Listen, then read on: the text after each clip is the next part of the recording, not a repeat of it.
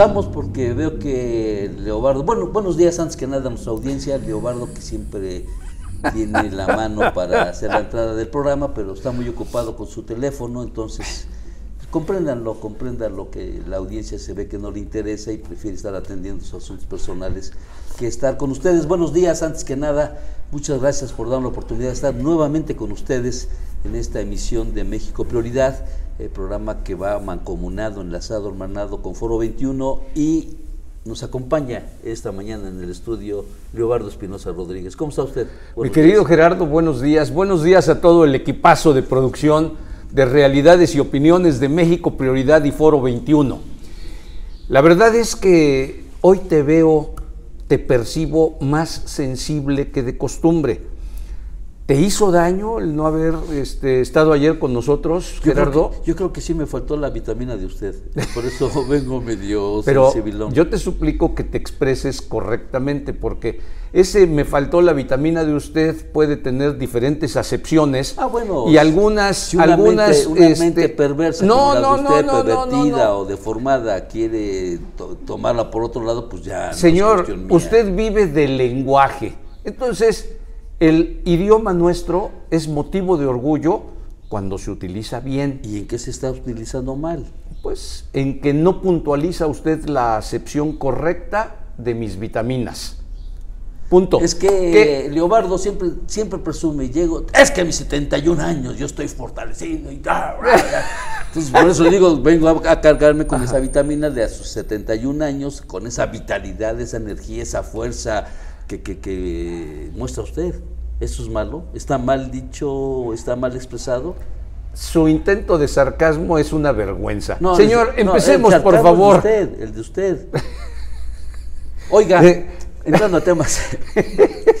Finalmente, eh, y déjeme presumir que en este espacio eh, informativo, en este programa eh, noticioso, de análisis de la, de la noticia, adelantamos desde el 12 de octubre 12 de octubre adelantamos el triunfo de Augusta Díaz de Rivera. 40, 50 días después se confirmó, se confirmó. Aunque están en el litigio. Eso te iba pero, a decir. Pero no veo la manera, la forma de que esto lo echen para atrás, salvo que el Comité Ejecutivo sabe? Nacional, por eso, salvo que el Comité Ejecutivo Nacional quiera ensuciar más el proceso de Puebla, quiera enlodarlo más. Y el PAN, Acción Nacional, que tiene todo para caminar con todo el poder, valga la redundancia, al 24, querrá decir que quieren entregar la plaza en el 24. Coincido contigo, mi querido Gerardo. La verdad es que en apariencia sí fue un triunfo contundente de Augusta. 1.300 votos de diferencia.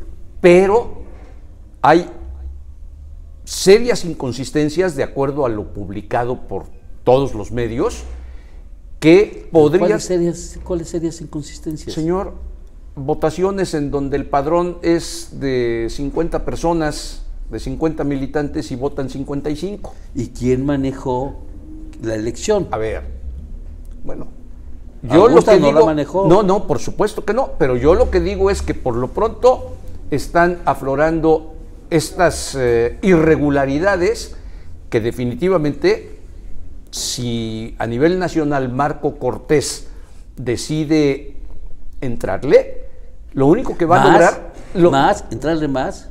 ¿Más de sí, lo que ya entrarle metió? más. ¿Más? Lo único que va a lograr es enlodar todavía más lo que resulta pues eh, escandaloso por sí mismo, ¿no? Estas divisiones, estas eh, aspiraciones de poder a costa de lo que sea, que pues poco favor le hacen al Partido Acción Nacional. Claro, a ver, vayámonos a la, a la, a la dupla de Genoveva con su secretario general, ni, ni, el nombre no lo recuerdo, y vayámonos a la dupla de Augusta. Jesús. Giles Carmona. No, eres el dirigente estatal Per interino. Perdón. Por favor. Bueno, por favor. Eh, Voy, ¿No quiere usted que se enoje uno? Voy a retomar el comentario de ayer respecto al mago Septién de la política, que es mi querido Gerardo Pérez García. ¿Por qué con el mago Septién? Ah, qué vanidoso. No, pues pregunto, porque, pregunto. porque el mago Septién es, fue, porque ya murió, claro. todo un ícono de conocimiento en el ámbito deportivo, muy especialmente El del béisbol, béisbol. Claro, claro, ¿sí? mis respetos. Y pues ayer lo dije, su ausencia me dio el valor para señalar que usted en el ámbito del conocimiento político, del historial político, muy particularmente de nuestro estado de Puebla, usted es el equivalente al mago Septién. ¿Se molesta usted, señor? No, deje, ahora sí que me pongo de pie. Y Ya, milagro, por esa- por esa payasada, con razón, por esa- con razón, siéntese. le traje un ramo de flores porque Siéntese. ah, dije, algún pajarito me dijo que iba usted a, a- a dar una flor a su servidor. Le ofrezco una disculpa porque de verdad es inaceptable, intolerable el, el manejo que le da este señor a las cosas. Yo le estoy haciendo un reconocimiento. Retomemos me el puse tema. de pie, me puse de pie, se lo agradecí. Sí, pero es una payasada. No, no, no, no, por favor, si estamos al aire, payasada, que, que me viste con nariz de, de- y mis No, orejas. no, mis- si tuviera usted esos zapatotes y la nariz de bola, no, no, ya sería el colmo. Bueno, re- regresando. Augusta lleva en fórmula, repito, no recuerdo el nombre de quien va con, como secretario general, Genoveva Gorta, y Augusta lleva a Marco Cortés. Marco, sí. Desde ahí vemos, primero Augusta, una militante de cepa del PAN, De toda la vida. de toda la vida. Sí. Y Marco Cortés, un hombre que trae el pulso del panismo o de la política de todo el Estado. Tiene la radiografía completa de la entidad poblana. Ellos sabían a dónde actuar, cómo actuar y con quién actuar. Por algo se llevan por la capital, por algo se llevan San Pedro Cholula, San Andrés Cholula, por algo se llevan San Martín Texmelucan y no Atlisco, que son de los cinco municipios con el padrón más alto. Con esos cinco municipios ellos tenían garantizada la victoria y así fue. Que hoy Genoveva trate de enlodar y vender cara su derrota es otra historia. El punto es que en este espacio, el 12 de octubre, adelantamos, pronosticamos que Augusto, Augusta Díaz de Rivera iba a ganar y ganó. Que ya se le echen abajo contra Quiñuelas será otra historia. Aquí la pregunta que yo me hago es en el sentido de hasta qué punto o en qué momento este grupo político cobijado por el exgobernador Moreno Valle este, se va a dar cuenta del rechazo que tiene ante los mismos panistas de toda la vida y ante la sociedad poblana. A pesar de todo lo que está a la vista que eh, la gestión de Moreno Valle logró en términos de imagen, en términos de infraestructura para Puebla, no vamos a entrar al detalle de los costos y de todo lo que hubo alrededor. Y es otra historia. Pero, pero sí dejó esa imagen que en la gente que va un poco más al fondo, pues, eh, pues es inevitable eh, el, el tener este rechazo para ese grupo, ¿no? No, so- no, no, no, yo no lo vería así, este, Leo. Yo no lo vería así porque finalmente, a ver, Moreno Valle dejó escrito su página en el libro de la historia política de, de Puebla, Sí. como de México, para bien o para mal lo hizo, muere de una manera trágica, lamentable, junto con su esposa, la gobernadora Marta Erika Alonso, en esa fecha memorable para todos los mexicanos y para el mundo entero del 24 de diciembre, llevaba 10 días de gobernadora. Junto con uno de sus asistentes. Iban, claro, tres, junto dos con- pilotos y, eso y el asistente Sí, de porque Rafael Moreno. también, eh, las otras muertes, Sí, está bien. eh, Todas son iguales. La muerte, por favor, acá no hay valor político ni no, no, no, no. Fueron cinco personas las que iban en el helicóptero Augusta, eh, eso de las 3 de la tarde y por Coronango se desploma de una manera muy rara porque los helicópteros Augusta no Tienen caen la pico, posibilidad de planear. de planear y caer Claro. sentados. Sí, sí. Y acá el Augusta cayó de hocico, de pico. Pero repito, es otra historia que igual la, la- Algún día la vas a platicar. Claro, Sí. en Foro 21 la, la, la, la, La tienes documentada, además. Claro, claro, claro, claro. Un antes preguntando, accidente, eh, eh, ¿atentado o accidente? La caída de la Augusta. Tres meses después, o dos meses después, eh, en ese inter, una fuente de inteligencia militar nos, nos llamó por conducto de un amigo mutuo y él nos platica su versión de que sí fue atentado. Viene una segunda edición donde dice, sí fue atentado, pero esa ya será, es parte de, de otra, de otra historia. A lo que voy que Rafael Moreno Valle dejó una historia, Augusta, eh, Genoveva Corrijo, neopanista, ella llegó del PAN de la mano de Marta Erika y de Rafael, por eso le instalan como dirigente estatal del PAN, suple a, sustituye a Jesús Giles, pues, por, cierto, Jesús Giles era el dirigente estatal y Marta Erika era la secretaria general, que fue la plataforma para que ella caminara todo el estado y en el 18 fuera la candidata. El morenovallismo, pues no podemos decir si ya está muerto, porque en política me han dicho los que saben, no hay muertos políticos salvo cuando ya trascendemos al más allá. Pero sí hay un enorme rechazo porque Rafael Moreno Valle durante 10 años secuestró el partido, hizo y deshizo. De ese rechazo es del que yo eh, hago eso, mención. Ahí es donde Genoveva sabía muy bien que iba a cuesta arriba, que el panismo, panismo, le iba a cobrar la factura tarde que temprano.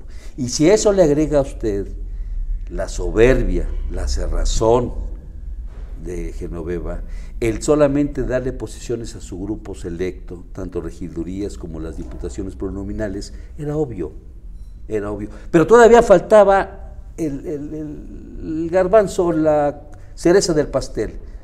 Marco Cortés cierra la contienda y la deja por equidad de género para que fuera una mujer la candidata. Entonces dices, vaya, Carajo. Por todos los eh, caminos por eh, querían por favor. que continuara esta gestión, ¿no? Sabían que pocas mujeres del PAN se iban a aventar el tiro, el tiro salvo Ana Teresa Aranda, que tiene todos los arriesgos, una mujer que merece nuestros respetos políticamente hablando. Una mujer luchona, brava, dura, la conocí en la época de Manuel Bartlett. Pero ¿por qué políticamente hablando nada más, señor? No, no, no, vaya. En todos los aspectos. Sí, pues, su puntualización está de sobra. Adelante a fuerza el Señor tiene que meter la cuchara y tiene que estar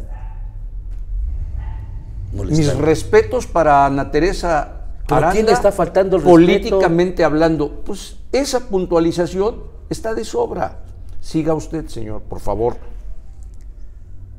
en, toda la extensión de la palabra para que quede Eso contento, sí. Para que quede contento acá su fans de Anatere. No, no soy fan de Pero sabían que, no, no, se ve que no. Sabían que Anatere tenía el problema de que ella dejó el pan. Y de acuerdo a los estatutos, pues ya no podría ser. Ana Teresa Aranda, inteligentemente, se echa para atrás y le dice a Augusta, vámonos contigo. Estaba Blanca Jiménez, que también quería, una mujer también muy arrojada, muy aventada, Dije, no, cerraron filas. Pero sin los tamaños para esa posición. Ah, no, claro, ah, está como Genoveva, pero es otra historia. Eh, cierran filas en torno a Augusta y toda esa cauda de panistas, de abolengo, de historia, de viejo de raíz, de familia. De familia además, claro, pues la empoderaron. Entonces yo no veo, no veo, salvo que Marco Cortés en lo oscuro tenga una negociación muy sucia con ya sabes quién y quieran descarrilar Puebla porque al corte ¿Con quién, señor? Porque no entiendo.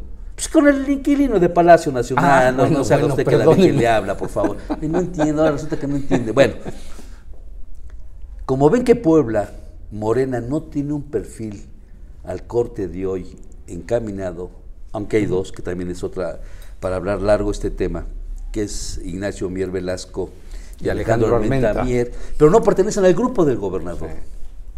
Luis Miguel Barbosa. Luis Miguel Barbosa no ha podido consolidar a un político de su gabinete o fuera de su gabinete con el tamaño de contender para la elección. Y se ha hablado mucho y se ha escrito mucho sobre esa relación un tanto turbia de Luis Miguel Barbosa con Eduardo Rivera, pero igual es parte de otra historia. Porque Luis Miguel Barbosa en su momento cortará las alas a, a Eduardo Rivera e irá de acuerdo a sus intereses.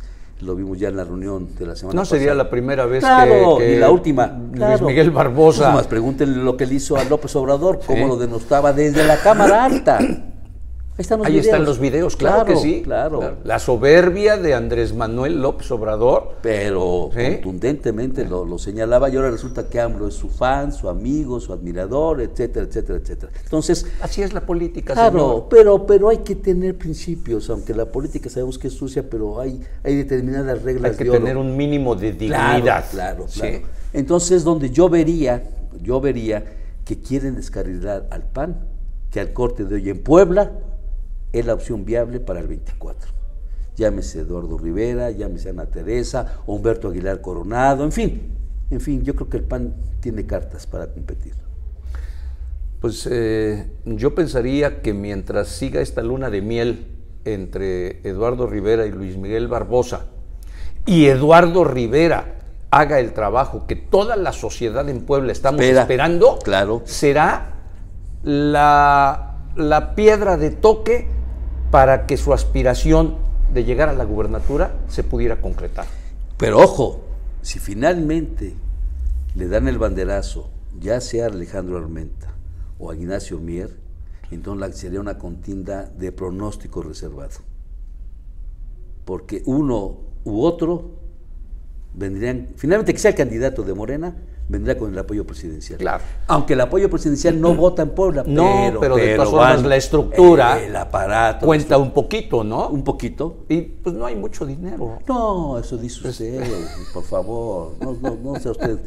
Bueno, entonces ya, en fin, es un tema que conforme vayan avanzando las, las semanas, vamos a escribir un artículo de lunes, eh, de domingo para lunes en Rumor Sin Fronteras, pido una disculpa, aprovecho el viaje de que hoy ni ayer hubo columna porque tuvimos una eh, reunión que ya lo platicaremos con Pepe Centeno, una función pública, eh, de una demanda que presentó Foro 21, ya lo es tema de, para el siguiente corte. ¿Por qué?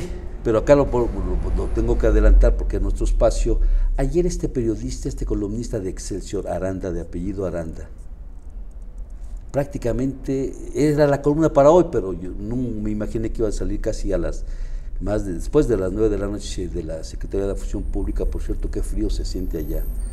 Pero pues más ¡ah! frío, más frío con lo que está usted ventilando, señor. No, frío, vamos, eso viene después. A lo que voy es que este periodista Aranda destapa ya de una manera abierta habla de Beatriz Gutiérrez Müller. Era un tema que ya teníamos en cartera para la portada de Foro 21, pero una fuente en México me dijo, no, no, espérate, no, no, no, no, no, no, Beatriz no va a Puebla. En un momento se habló que sería la sucesora en la rectoría de Puebla, de la UNAM, de la UAP, y después empezó a hablar un poco de su aspiración para Puebla, y esta fuente política de México dice, ¿tú crees que López Obrador lo va a aceptar, conociéndolo un poquito, o que de acuerdo a su cuarta transformación y a sus principios, va a dejar que su esposa se vaya a Puebla, no creo.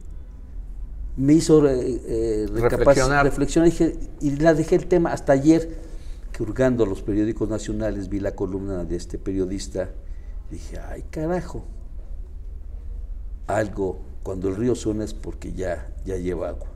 Entonces esto va a ser motivo de, columna de, lunes, este, Leobardo. Si eso se aterrizara en esa proyección, sería una más de las incongruencias este, que, pues, a las que ya nos acostumbró el señor presidente, ¿no? Ahí está el caso de Claudio Sheinbaum, cómo la destapa y cómo le levanta el brazo y cómo la lleva de la mano y le abre todos los foros porque está visto que es la que ella se, quiere que sea que suceda. ¿Por qué, ¿Por qué Claudia Sheinbaum? Porque yo creo que es la única que le va a garantizar esa continuidad de la cuarta transformación y seguir a puntillas de manera absoluta los lineamientos de López Obrador. López Obrador ya no sería el presidente, pero encarnaría en Claudia Sheinbaum y serían seis años más. Aunque suena burda la, la comparación, perdónenme, aunque suena burda la, comparación, pero sería un escenario similar al que vemos en Guerrero con eh, Salgado Macedonio y su hija. su hija, Evelyn, Salgado, claro, claro, pero totalmente, versión bizarra, pero ese es el ejemplo muy, muy bien apuntado. Ah, ya, ya empezó usted a despertar.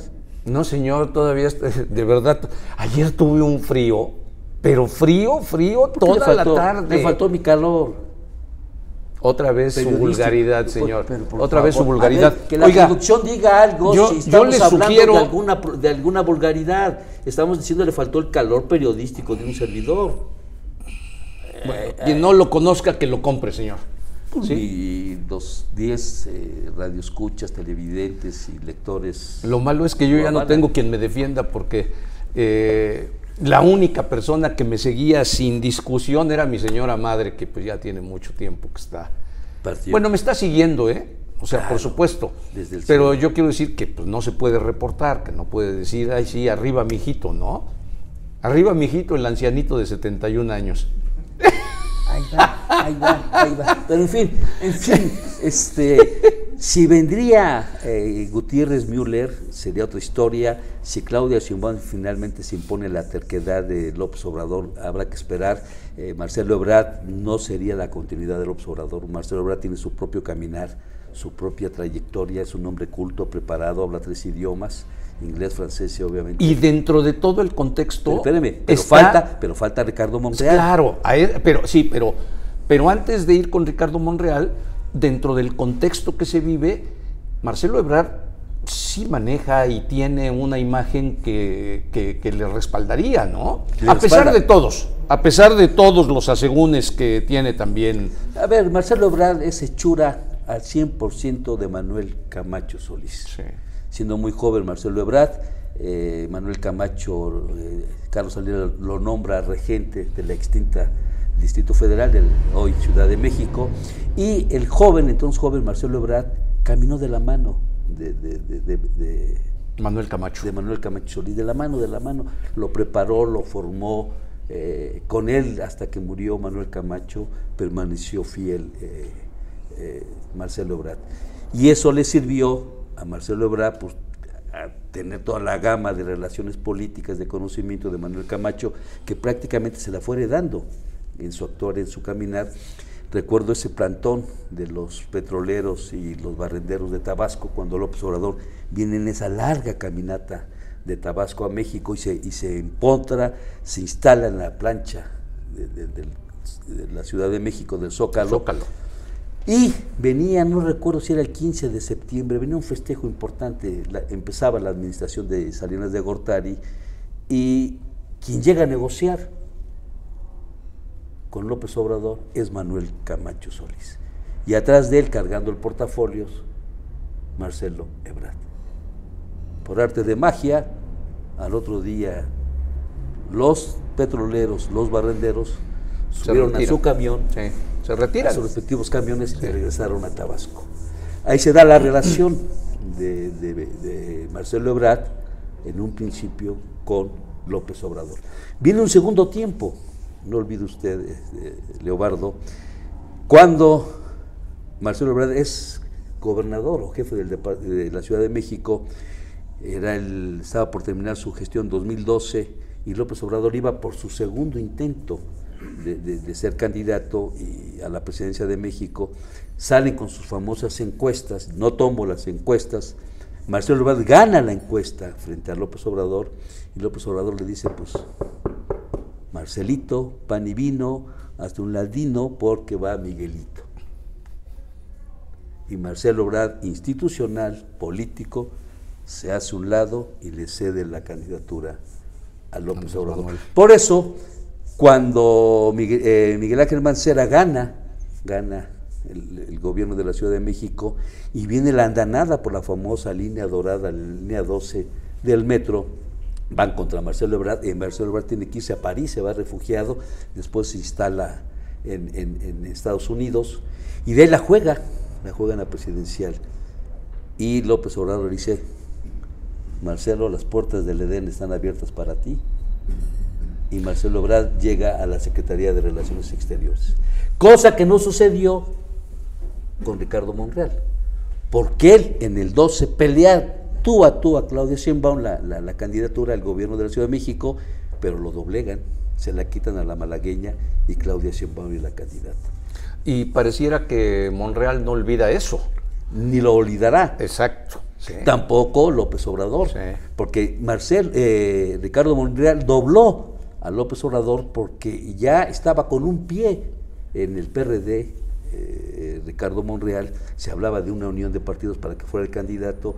López Obrador sabía que un hoyo de eso le, iba, le podía salir muy caro, eh, políticamente hablando o electoralmente hablando, y lo llama y lo sienta y le dice, a ver, Ricardo, ahí está el Senado, va a ser líder de la bancada y vámonos. Ricardo Monreal, al fin, animal político, acepta y ahí está, al corte de hoy. Por eso dice Ricardo Monreal, seré candidato, pase lo que pase en el 24. Y ya habló del tema del, del 2012. Se confirma lo que ayer comenté. El mago Septién de la política, aquí en Realidades y Opiniones de México Prioridad y Foro 21. Vamos a una pausa, señor, porque ya está don José Centeno. ¿Ya llegó? Pues, a ver, ¿qué no, qué no está usted viendo? ¿No está usted escuchando? Permítame usted, no tengo ojos en la espalda. Y en las cámaras ni modo que me volteé yo para ver si llegó o no llegó. Usted porque ve hacia la entrada. Vamos a una pausa. Este, más data comunicación aquí en voz de su director general, Pepe Centeno. Volvemos en un momento.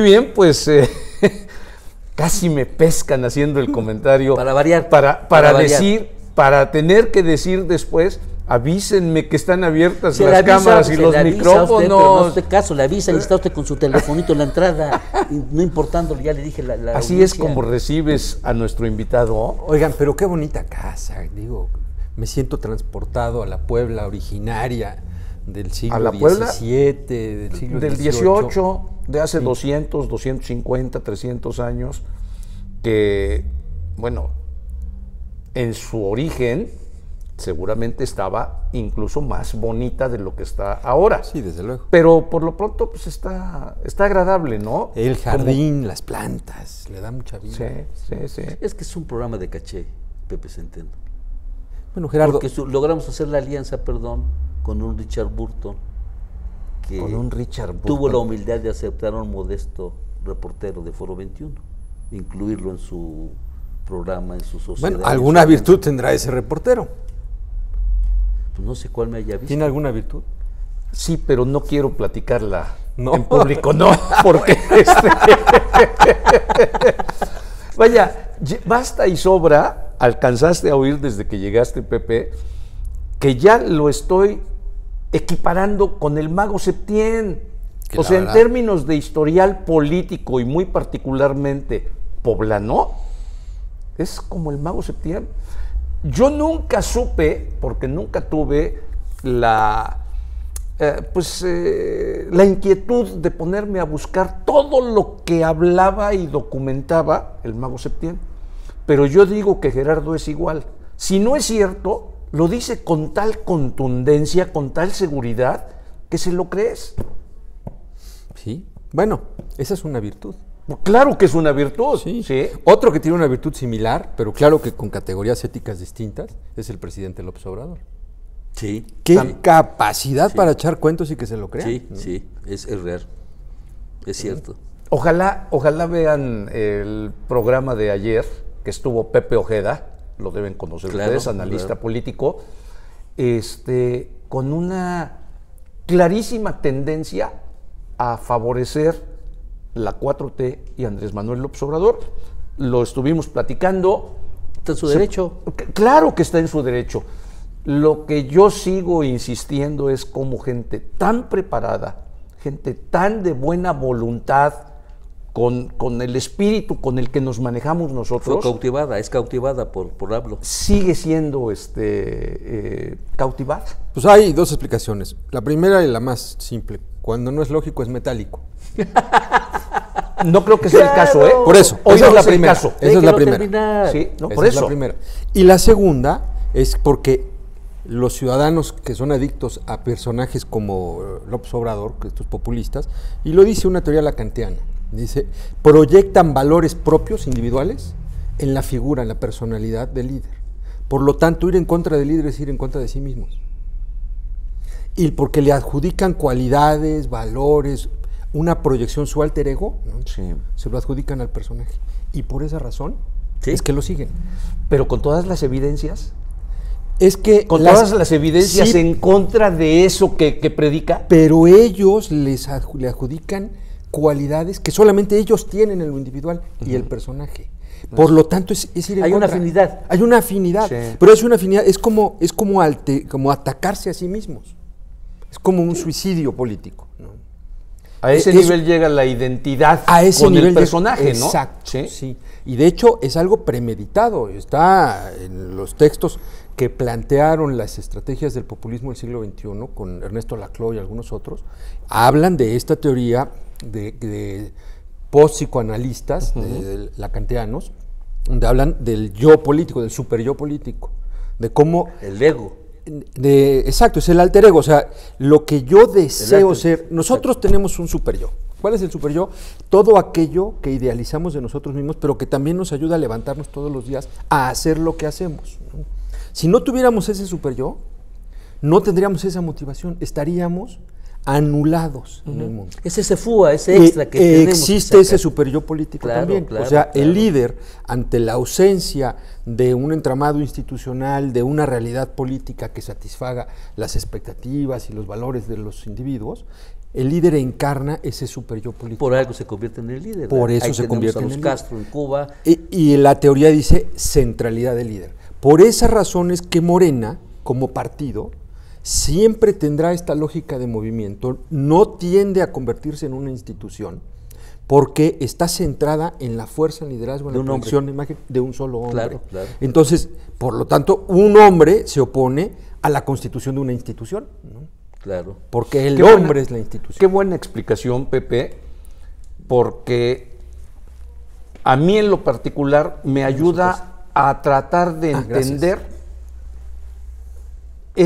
Esto que ayer vi en Pepe Ojeda y que lo he visto en otra mucha gente.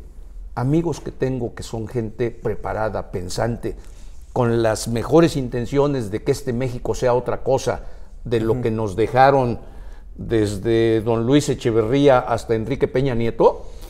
Este, pues, eh, ¿por qué se identifican entonces? Porque idealizan a López Sí. Obrador. Esa es la palabra. Lo idealizan. Y Eso le es. proyectan habilidades y cualidades que no ellos tienen. quieren que, tener. que ellos tienen, Pero que él no. y que las quieren y que las, las ve- O o, que las las ven. quieren ver. Las en ven. él. Sí. Así es. Exacto, eso es lo que sucede. ¿no? Muy Eh, bien. eh, y por eso es que gente preparada y culta es, lo sigue todavía.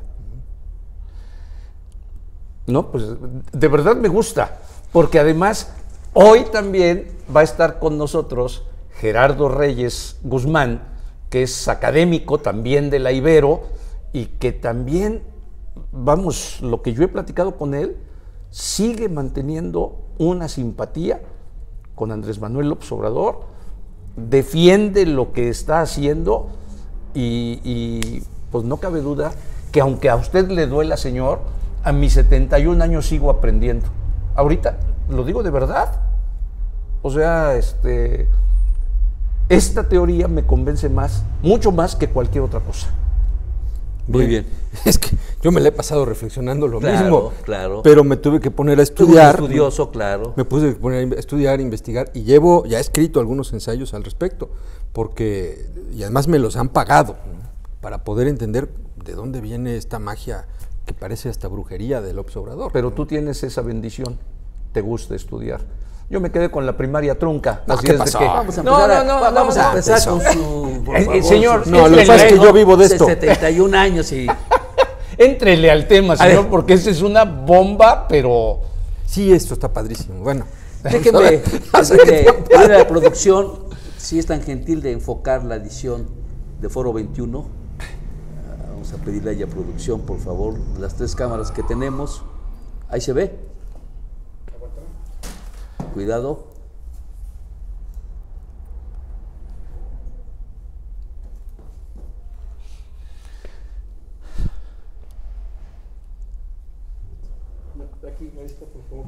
De acuerdo.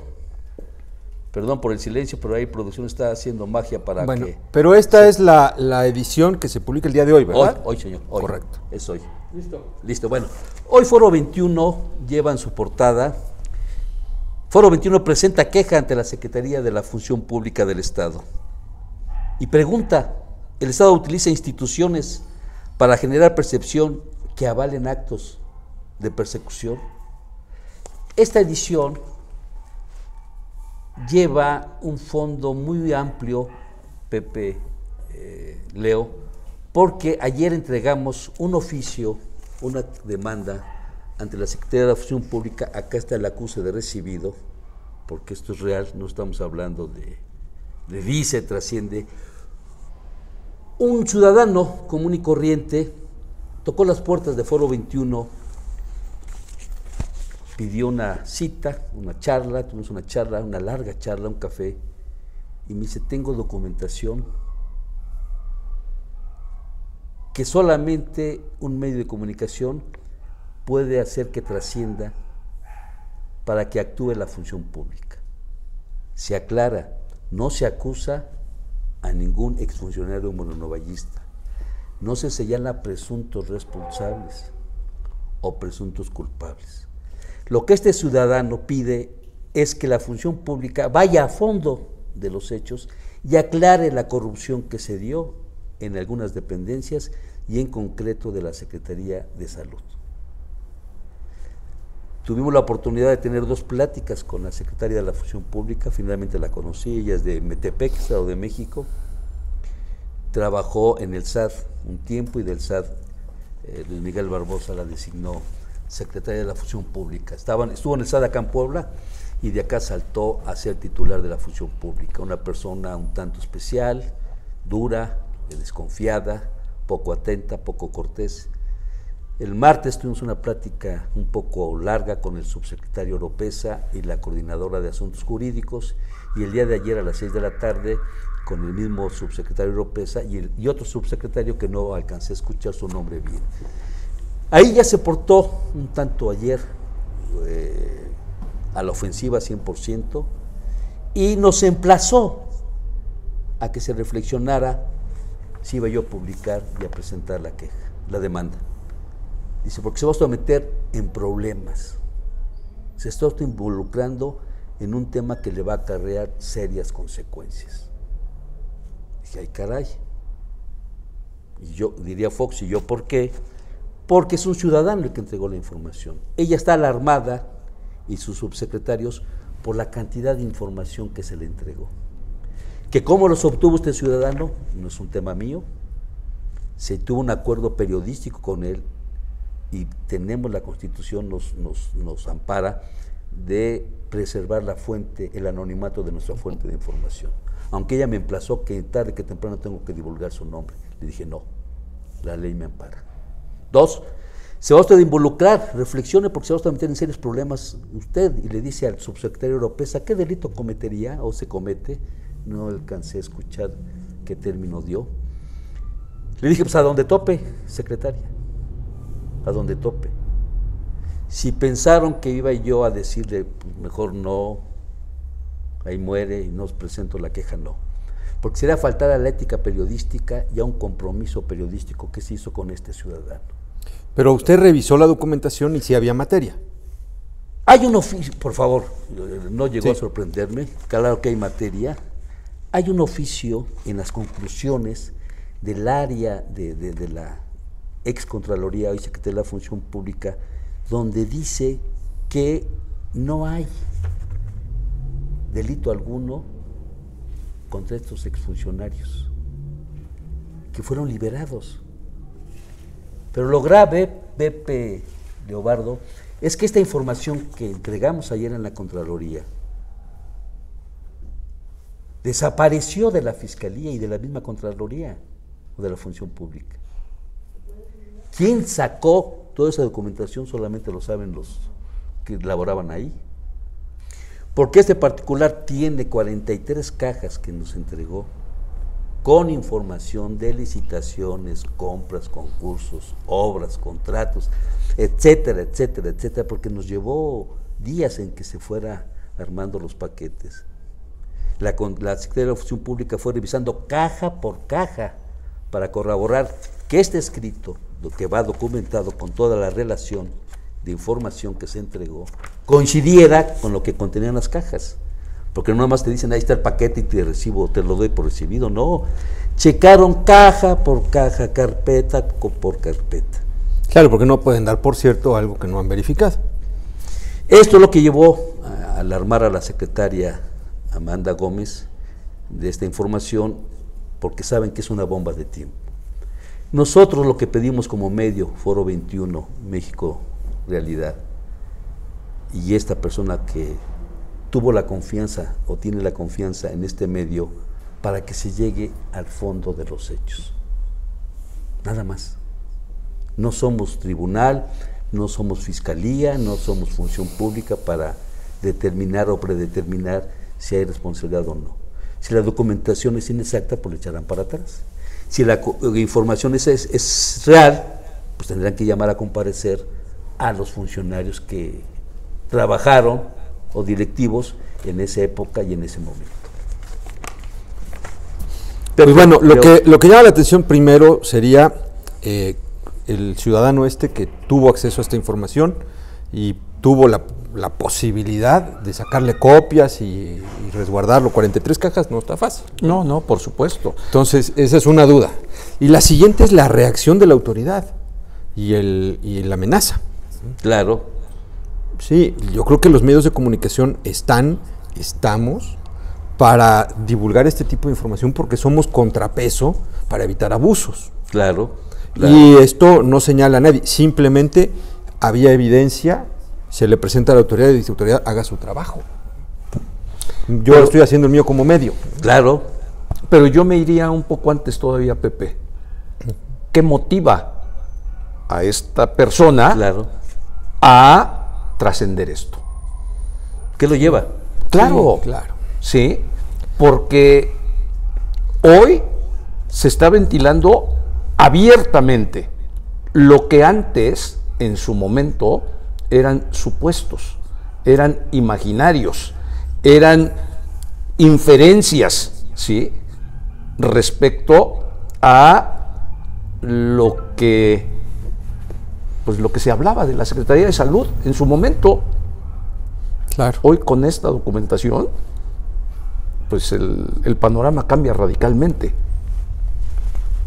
Y repito, ¿qué movió a esta persona a, a invitarte a que lo, a que lo publiques, Gerardo? Se le, se le preguntó que qué le movía, que él orilló o, o por qué eh, decidió dar este paso y en concreto con Foro 21. Dice, son dos, dos aspectos, este joven. Uno, tenemos confianza en la objetividad de Foro 21. Y dos, que solamente a través de usted se podrá, obviamente presentando la documentación en la función pública, a que se esclarezcan los hechos. Lo que me lleva es que se terminen estas bolas de, humo, estos presuntos estos señalamientos de, de determinadas eh, autoridades condenando, sentenciando y juzgando a Pedro, a Juan o a Mario. Ahí están los documentos, que la función pública haga lo que tenga que hacer, indaga lo que tenga que indagar y que se citen a las personas y si hay un culpable que se le castigue. Lo que queremos es que se acabe esta corrupción y se esclarezca, ya no con declaraciones mediáticas. Claro.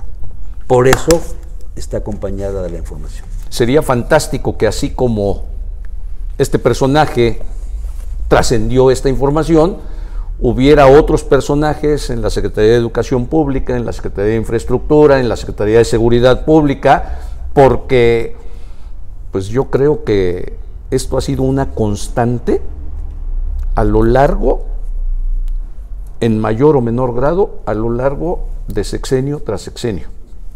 Me parece a mí. ¿Cómo se supo la estafa maestra? Animal político Por eso fue una hizo investigación, una investigación claro. periodística. Este, y, y- y- y- y al corte de hoy, Sí. los resultados que se tienen, cómo se llegó al caso de Brecht. Pero ¿qué resultados se tienen en la estafa maestra? Porque finalmente una persona está en la cárcel, en la cárcel, si es responsable o no, estamos viendo la línea y falta que realmente Gerardo. la autoridad castigue, empezando por el oficial mayor, Emilio Cebadúa, y toda la serie de corresponsables que gozan de libertad.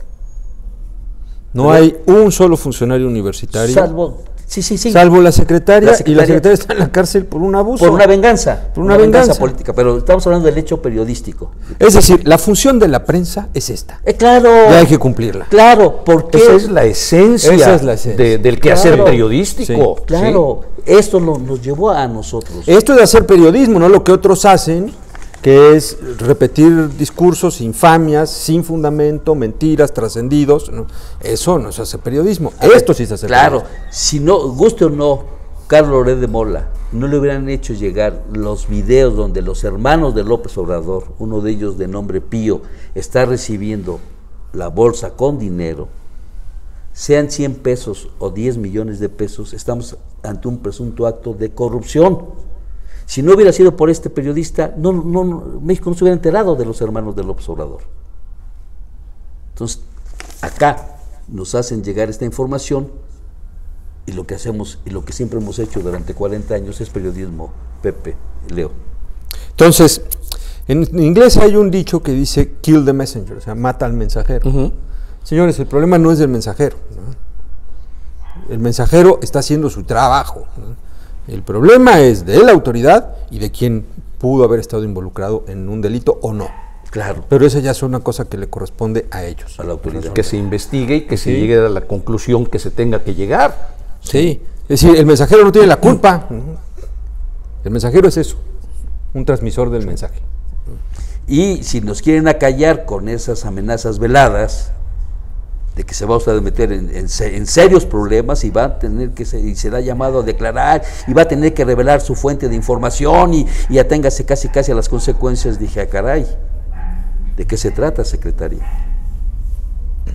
No vengo a sorprenderla, se le dijo, vengo a presentar una documentación que un ciudadano tuvo la confianza en depositar en nosotros para presentar esta demanda. ¿Que cómo la obtuvo? Usted va a ver si son documentos falsos o son documentos ciertos. Pues sí, ya estará en el resorte de la autoridad actuar. Ustedes como medio están cumpliendo con su función. ¿Ya? Como debe ser. Como debe ser. Y yo creo que Puebla debe de estar muy contenta y muy tranquila de que haya medios que estén cumpliendo con su responsabilidad. La formación que tuvimos desde que empezamos en, esta labor periodística hace casi 40 años de, de ese caminar de, de, paso a paso, de empezar de IBM, y los maestros que por fortuna y gracias a Dios tuve me han llevado de IBM sí IBM a traer esto sí, y IBM sí, a traer lo otro. chamaco que veme por el cigarro no, yo, veme por mi café. No yo pensé que en la Macintosh en la a mí IBM, eso me molesta Pepe porque sí. porque yo sí trabajé no de IBM trabajé en IBM de México ah, sí. en el año de 1973 a 1977 ¿Y Entonces, qué le molesta? Este, pues porque usted hace mofa de IBM es un término este, que se por sí, señor, pero, pero a mí me lastima. ¿En, ¿En, qué lo va a lastimar? Sí. Un señor Richard Burton se siente Richard lastimado Burton. por ¿No? decirle, por decirle de IBM que uno empezó es un término coloquial que, que, que, que es Bueno, entonces empezó el desde abajo, digamos. desde abajo, Pepe. Y ahí aprendió el oficio. Y el periodismo de ayer sí había reglas, había dignidad, había principios. Y cuando tú te formas bien, tienes una formación de raíz bien, vas a crecer como el árbol derecho. Pero si de inicio tu formación se va inclinando hacia la izquierda o hacia la derecha, vas a crecer torcido. Y desgraciadamente el periodismo hoy estamos en otro nivel. Usted lo acaba de señalar, medios que se dedican a difamar, a denostar, a- a mentir, a engañar, a cobrar. Eso también, porque por un lado señalan y critican eh, la corrupción en otras esferas, pero son los primeros que se prestan a recibir las prebendas que les permitan hacer ostentación absurda en sus fiestas, en sus viajes, en sus residencias. Este, En su estilo de vida. En su, en su forma de vida, ¿no? ¿De dónde esos ingresos, no? Entonces, eh, es, es un fenómeno que, que tiene muchas aristas, todas interesantísimas, pero aquí con Gerardo hay una diferencia del cielo a la tierra. Y bueno, los ciudadanos que nos interesa que haya prensa libre, que haya prensa independiente, tenemos que estar del lado de Gerardo. Pues es que si no lo estamos, ¿qué pretendemos? Se acaba la libertad de expresión, Sí, sí. se acaban los contrapesos sociales, que eso es lo que necesitamos para que no se abuse del poder. ¿Qué fue lo que llevó a frenar un tanto cuanto los excesos del gobierno de Peña Nieto? Que pese a todas las dádivas y componendas que dio a políticos, a medios, a empresarios, ¿cómo terminó? Salinas, el propio Salinas de Gortari. Eh, hoy eh, Andrés Manuel López Obrador, con su forma de actuar y de quitarle esos convenios, según él, multimillonarios y solamente, ah, pero eso sí, a sus medios aliados, a sus Claro. amigos, Claro, abierta la cartera. claro. Entonces, ¿de qué congruencia hablamos? ¿Y dónde está no mentir, no robar, no traicionar? No hay tal congruencia. Por favor. Nada más que ahorita están en la parte alta de la curva, pero luego estarán en la baja, si esto siempre es así, es un sub y baja. ¿no? Es claro, claro. Sí, los morenovallistas estuvieron en la parte alta y nadie podía hablar de eso. Hoy están en la parte baja y se está hablando de esto. Así es, así es, así Sí. es. Sí, lo comentábamos, eh, fueron 10 años de un ejercicio absoluto de, de- de Rafael Moreno Valle y su grupo. Es más, fue un poco más tiempo porque no hay que olvidar que con Melquiades Morales, Rafael fue cinco años poderosísimo secretario de Finanzas. Yo me tuve que ir de Puebla. Social. Usted tuvo que irse de Puebla. Un servidor junto con Enrique Núñez, con Aurelio Fernández, eh, con Alejandro García, Alejandro, Fermín Alejandro García, entre otros, tuvimos que ampararnos, porque en la recta final de Moreno Valle iba, nos estaban ya nos habían armado expedientes express. Hubo un amigo que por fortuna nos alertó, ampárense porque cuando mero sientan ya están adentro y no salen. Logramos ampararnos, lo hicimos eh, la denuncia pública y eso contuvo que por lo menos 10 periodistas en la recta final de Moreno Valle estuviéramos en la cárcel. Claro que meter a 10 periodistas se vería muy mal. Que no, no es tan sencillo. Pero usted lo dijo, si no te metes a la cárcel, al menos tendrías que haberte tenido que ir de Puebla. Sí, porque O- yo nunca he sido periodista, o no soy callar- periodista. o callarlo. Participo con los medios, soy comentarista. No, usted es un analista de, de- Sí. de- de- de- de altura, no usted cualquier analista, le digo en Muchas serio. gracias. Una de las empresas más prestigiadas, eh, que es más data, no olvido esa. Usted fue el único, la única empresa que adelantó el triunfo de Rafael Moreno Valle en 2010. Ya están los hechos. El único, porque toda Y el de López Obrador Ah, en no, Puebla claro, en claro, 2012. claro, pero ya, pero hablando Sí. del 10, o sea, hablando del 10. Cuando todas las encuestas nacionales decían que el PRI iba a retener la, la gobernatura de Puebla con Javier López Zavala. Y de ese éxito vinieron otros más como la del 12 con López Obrador. Sí, la verdad es que sí, nos, nos fue bien. Y hasta con Lalo Rivera nos fue bien. ¿Sí? Sí.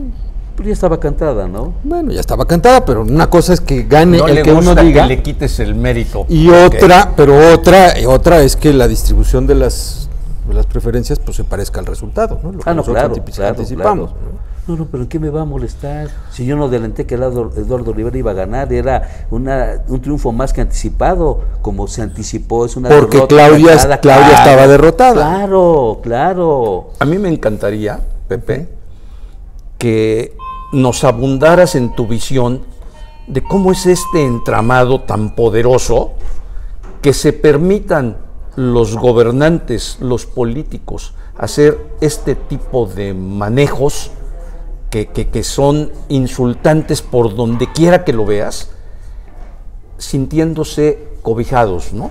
Por ese entramado, insisto, que de alguna forma siempre les ha garantizado esta impunidad. Mi opinión, Leo, es que los gobernadores en los estados en esta República Mexicana son señores feudales. Sí. O sea, no tienen contrapesos institucionales. Así A es. pesar de que vivimos en separación de poderes, a pesar de Entre que hay órganos- Sí, pero la eh, infraestructura institucional está sometida al Ejecutivo. Toda. Sea municipal, estatal o federal. Sí, y aquellos espacios, aquellos reductos de independencia que quedaban y de autonomía, los han ido comiendo, los han ido cooptando. ¿no? Cooptando, La Universidad de las Américas, la UAP, ¿no? obviamente todos los medios, empezaron por los grandes y más famosos y ahora están yéndose por los más chiquitos. eh, y, y así es como opera El sistema. este sistema, pero ¿por qué? ¿Por qué es que lo permite la autoridad central? Y aquí viene la contradicción. Un presidente centralista, ¿no? Omnipotente, omnipresente, en- y además que le gusta que toda la política gire en torno a él. Claro, pues se los permite a los gobernadores a condición de que no le regateen el espacio que él quiere tener. Claro. Y cuando hay un gobernador como cabeza de vaca de Tamaulipas, que les regatea el protagonismo, en ese momento se. Perseguido Claro, con todo. con Sí. todo. Pero mientras esa regla no se viole y le digan sí, señor presidente, y le dejen moverse en el Lo que usted diga, señor presidente. eh, los gobernadores pueden abutar y se, pueden ser dueños ¿no? de haciendas y corazones. Y voluntades. Eso es lo que pasa. Y no solamente en Puebla. ¿eh? no, no, es a nivel nacional. No, es la Sí. constante en el país. Sí, claro. Eh, entonces, tenemos una república formal, pero realmente es un autoritarismo. Es un, es un régimen medieval el que tenemos los Eh, llama la atención porque López Obrador en sus tres recorridos en 2006, 2012 y 2018 por lograr la candidatura a la presidencia de México, eh, denostó tanto a las instituciones, habló tanto de ese centralismo, habló tanto de ese presidencialismo totalitario, absolutista, feudalista, como usted le está poniendo el término, que él llega y lo está superando a los anteriores mandatarios. es que el poder es veleidoso. Demasiado. Pero cuidado. La condición humana. La condición humana frente al poder te mueve todo. Y se rinde. Mata, Sí. claro. O sea, este- Claro, pero a la vez es muy traicionero la política. y lo que hoy sube mañana baja. Y cuidado cuando, como sea la caída o la bajada o el después del observador de la presidencia de México. Ojo. Sí, ya, ya lo veremos. Quizá por eso es Claudia. Claro, lo decíamos a la recha Sí. del programa. Sí. Ya queda poquito tiempo. Dos Les, minutos. les platico Yo una anécdota. Fui a, fui a la toma de posesión de una gobernadora recientemente y fue Claudia Sheinbaum. De hecho, coincidimos en el avión. La usted la de Colima. Fui a la de Colima. Eh, la gobernadora este, es amiga. Pero ibas en el avión privado. No, no, no. Fuimos en un avión de. Oh, bueno, bueno. No, si iba Claudio Sheinbaum no podría ir en jet privado, por favor. Pepe sí tiene ese, de ese Bueno, lujo, por ¿eh? eso. ¿Qué pasó? Claro, claro. No, no, no. Yo iba en un aeromar que me tuve que parar a las tres y media de la mañana para Hijo, llegar a tomar. Salió a las seis y es 20 un martirio. La Ciudad de México. Terrible. Pero bueno, me hizo ¿Coincidiste favor. con Claudia Sheinbaum? íbamos en el avión. Entonces me tocó observar el, el comportamiento, porque el lenguaje corporal habla mucho Claro. de la personalidad. Y, y esto, pues en los tiros de cámara y todo, pues son cosas muy cuidadas, las fotos y tal. Pero la gente de comunicación social, del, todos los funcionarios cuidan esos materiales. Vital. Pero cuando uno está ahí como paisano, nomás observando, y además me tocó estar en el segundo piso, en- en- era un teatro, y entonces en primer piso obviamente estaba la plana mayor de la 4T, ¿no? Felicitando a su nueva gobernadora, y en primerísima fila, fila Claudia Sheinbaum. Estaba totalmente fuera de su hábitat, se le veía incómoda, tiesa, o sea, Rígida. rígida. Que Es una- adusta, que de ella es una académica metida en política. Así es, así es. Y no ha aprendido, no es su espacio natural. O sea, ella no comunica liderazgo, no comunica empatía, no tiene ese adicional, ese toque. Ese feeling. Ese feeling. Ese plus. Que se traduce en, en, El liderazgo. Así es, sí. Con esa. Censu, Marcelo Ebrard, Ricardo Monreal. Entonces, yo no sé cómo le van a hacer, si el país se le sale de control en algunas cosas al presidente, a transmitirle eso a Claudia para que ella pueda ganar una elección. No lo sé. ¿eh? Qué buena observación, ¿eh? Claro, claro. Porque es hasta este momento lo más visible como... Porque López Obrador quiere que así sea. Por eso, pues, es lo más visible, ¿sí? Entonces, sí es un, es un problema de futuro que puede ser gravísimo. No, yo creo que, que, eh, López Obrador está midiendo y está estirando la liga hasta el último segundo. Lo mismo dado el colmillo y lo animal político que son tanto O sea, puede ser un borrego. Monreal. Puede ser no, un borrego. No, no, no, no, no. Le está diciendo, a ver, tú camina, pe- pero la pelota es tuya. Si tú metes el gol no habiendo portero ni defensa, serás coronada. Pero si lo fallas, el problema ya no va a ser mío. Entonces López Obrador tendrá que ver por su plan B, que es Marcelo Ebrard. Y el que sí hay que tener cuidado, cómo va a ser su desenvolvimiento. No, es el de gobernación, es López. Ah, no, claro, espéreme, espéreme. Adán espéreme, Augusto espéreme. López. Y tiene su caballo negro, que además, con modestia lo dije, lo, lo dije primero, que una vez que toma posición Adán Augusto, dije, es el caballo negro de López Obrador. Por si le falla a Claudia, por si descarrilan a Marcelo por lo de la línea dorada de- del metro, la línea 12, ya tiene a su caballo. Por algo lo trajo de Tabasco, es, es como su hermano. Sí. Si usted ve las fotos, no sé si sean familiares directos o no, pero hay mucho parecido entre Adán Augusto y López Obrador, aunque el apellido son el, tienen el mismo apellido, Adán Augusto López. Y el mismo estado de origen. Claro, aunque son de municipios diferentes. Bueno, pero eso ya es una nimiedad. No, no, no, no. Bueno, de- déjeme decirle a nuestra audiencia, uno es de Huimanguillo, Adán Augusto, y eh, López Obrador es de, De Ma- Macuspana. Macuspana, exactamente. Sí. Pero pues es un estado chico. Sí, son, son poquitos municipios, creo que 12 o 14. Pero bueno, al final son paisanos. No, pero buen punto el que diste este de Claudia, que no logra salir en ese escenario del... el- el- el No logra político. comunicar. Leo, dice el- en su discurso la gobernadora electa, bueno, ya tomando Indira, posesión, Indira y dice Indira, el país está listo ya para ser gobernado Ajá, por una una mujer. entonces le avienta la pelota a la señora. Ella era el centro de atención, todo el mundo quería tomarse fotos. Y ella estaba como robot y no sabía Se si sonreírse y, y todo. O sea, estaba fuera de su hábitat. Señora es una académica, es buena dando clases, yo creo, pero no estaba cómoda. ¿Apanicada dirías? rígida, a lo mejor no apanicada porque quizá no sea No, esa. la- pero sí tiene las, o sea, tiene las tablas suficientes para no apanicarse, pero muy cerca de estarlo. Sí, pero no sabía qué hacer con esa autoridad, con ese poder, con esa... Porque ella era en ese momento el, El centro, centro. de todo. Sí. Es que le faltaba su guía, su tutor, López Obrador Su para que le levante. Y en eso López Obrador es un mago. Claro, claro, claro, claro, claro, claro. Mm, eh, Ricardo Monreal es un magazo también. Por favor. Sí. Sí. Guste o no, Sí. Marcelo igual. Eh, más o menos también. Un poco más, pero, un poco más acartonado, pero ya tiene muchas tablas. Es un hombre de mundo. Además es un hombre culto. Eso sí. El político político es Monreal. Sí, es con el que yo más me identifico, la verdad. Ah, soy monrealista. No, no soy monrealista, pero digo, si de, ese- de esos que hay. pregunto. No, no soy, no soy. No, yo, yo la verdad es que preferiría que no quedara ninguno de ellos, pero si queda alguno de esos, que fuera Monreal. Se me hace el más ¿Le completo. ve, le ve más, más completo que Marcelo? Sí, y lo conozco, lo pero a Marcelo también, a Claudia no, pero a Marcelo sí de hace muchos años, y a, y a Ricardo. Y Ricardo es, es un hombre muy claro, muy inteligente, es un político sagaz. A mí me tocó acompañarlo en su proceso de precampaña en el PRI para gobernadores Zacatecas. Yo, es más, yo me pagaba mis gastos por ir a ayudarlo, me caía muy bien el señor. Le cierran la puerta. Le cierran la puerta y aprovecha la coyuntura Así es. ¿m?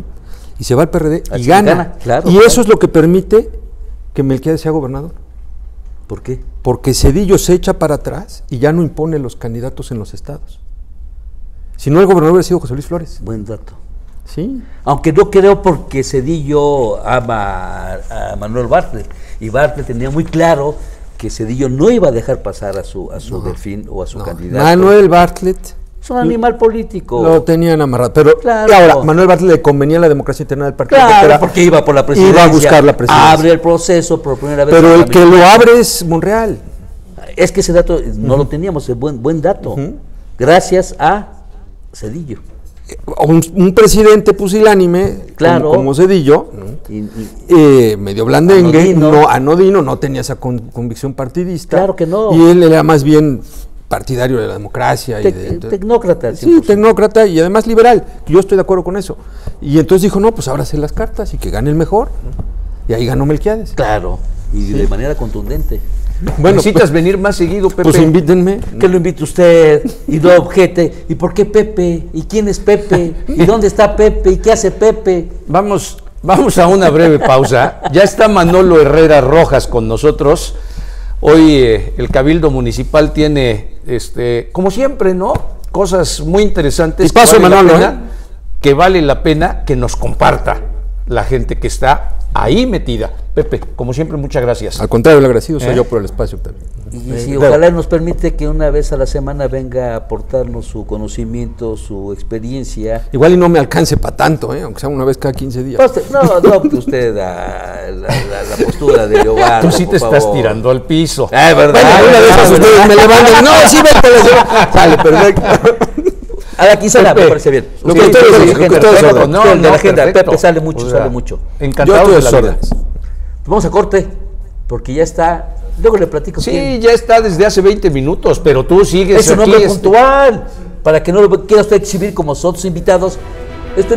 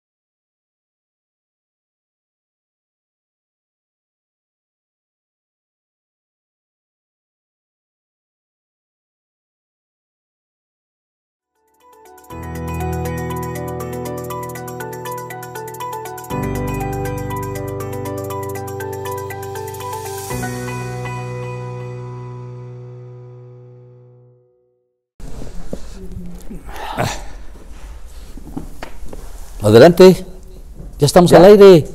Es que estoy viendo, o sea, hoy tenemos mucha más gente que, que de costumbre. Porque ya empezó, como un servidor se incorporó con usted, empezamos a levantar el rating, ya empezaron a venir más. Empezamos a levantar el rating. Empecé a levantar el rating de usted y entonces la gente empieza a decir, queremos ver el programa en vivo. Pues bendi- bueno, bendito sea Dios, aunque usted sea ateo, y este No, que venga quien no, quiera. el ateo es usted. Son par de haces, par de haces. Manolo, Manolo Herrera Rojas, regidor del Partido Acción Nacional es. en el actual Cabildo Municipal. Sí, ¿Cómo sí, estás, sí, Manolo? Leo, feliz de la vida, gracias a ti y a Gerardo, maestrazos de los medios de comunicación, siempre un honor estar y platicar con la gente que sabe. ¿Eh? Déjame comentar de, de Manolo, las circunstancias de la vida eh, de carambola me llevaron a conocerlo y, y- y quedé impactado de Manolo por una cuestión.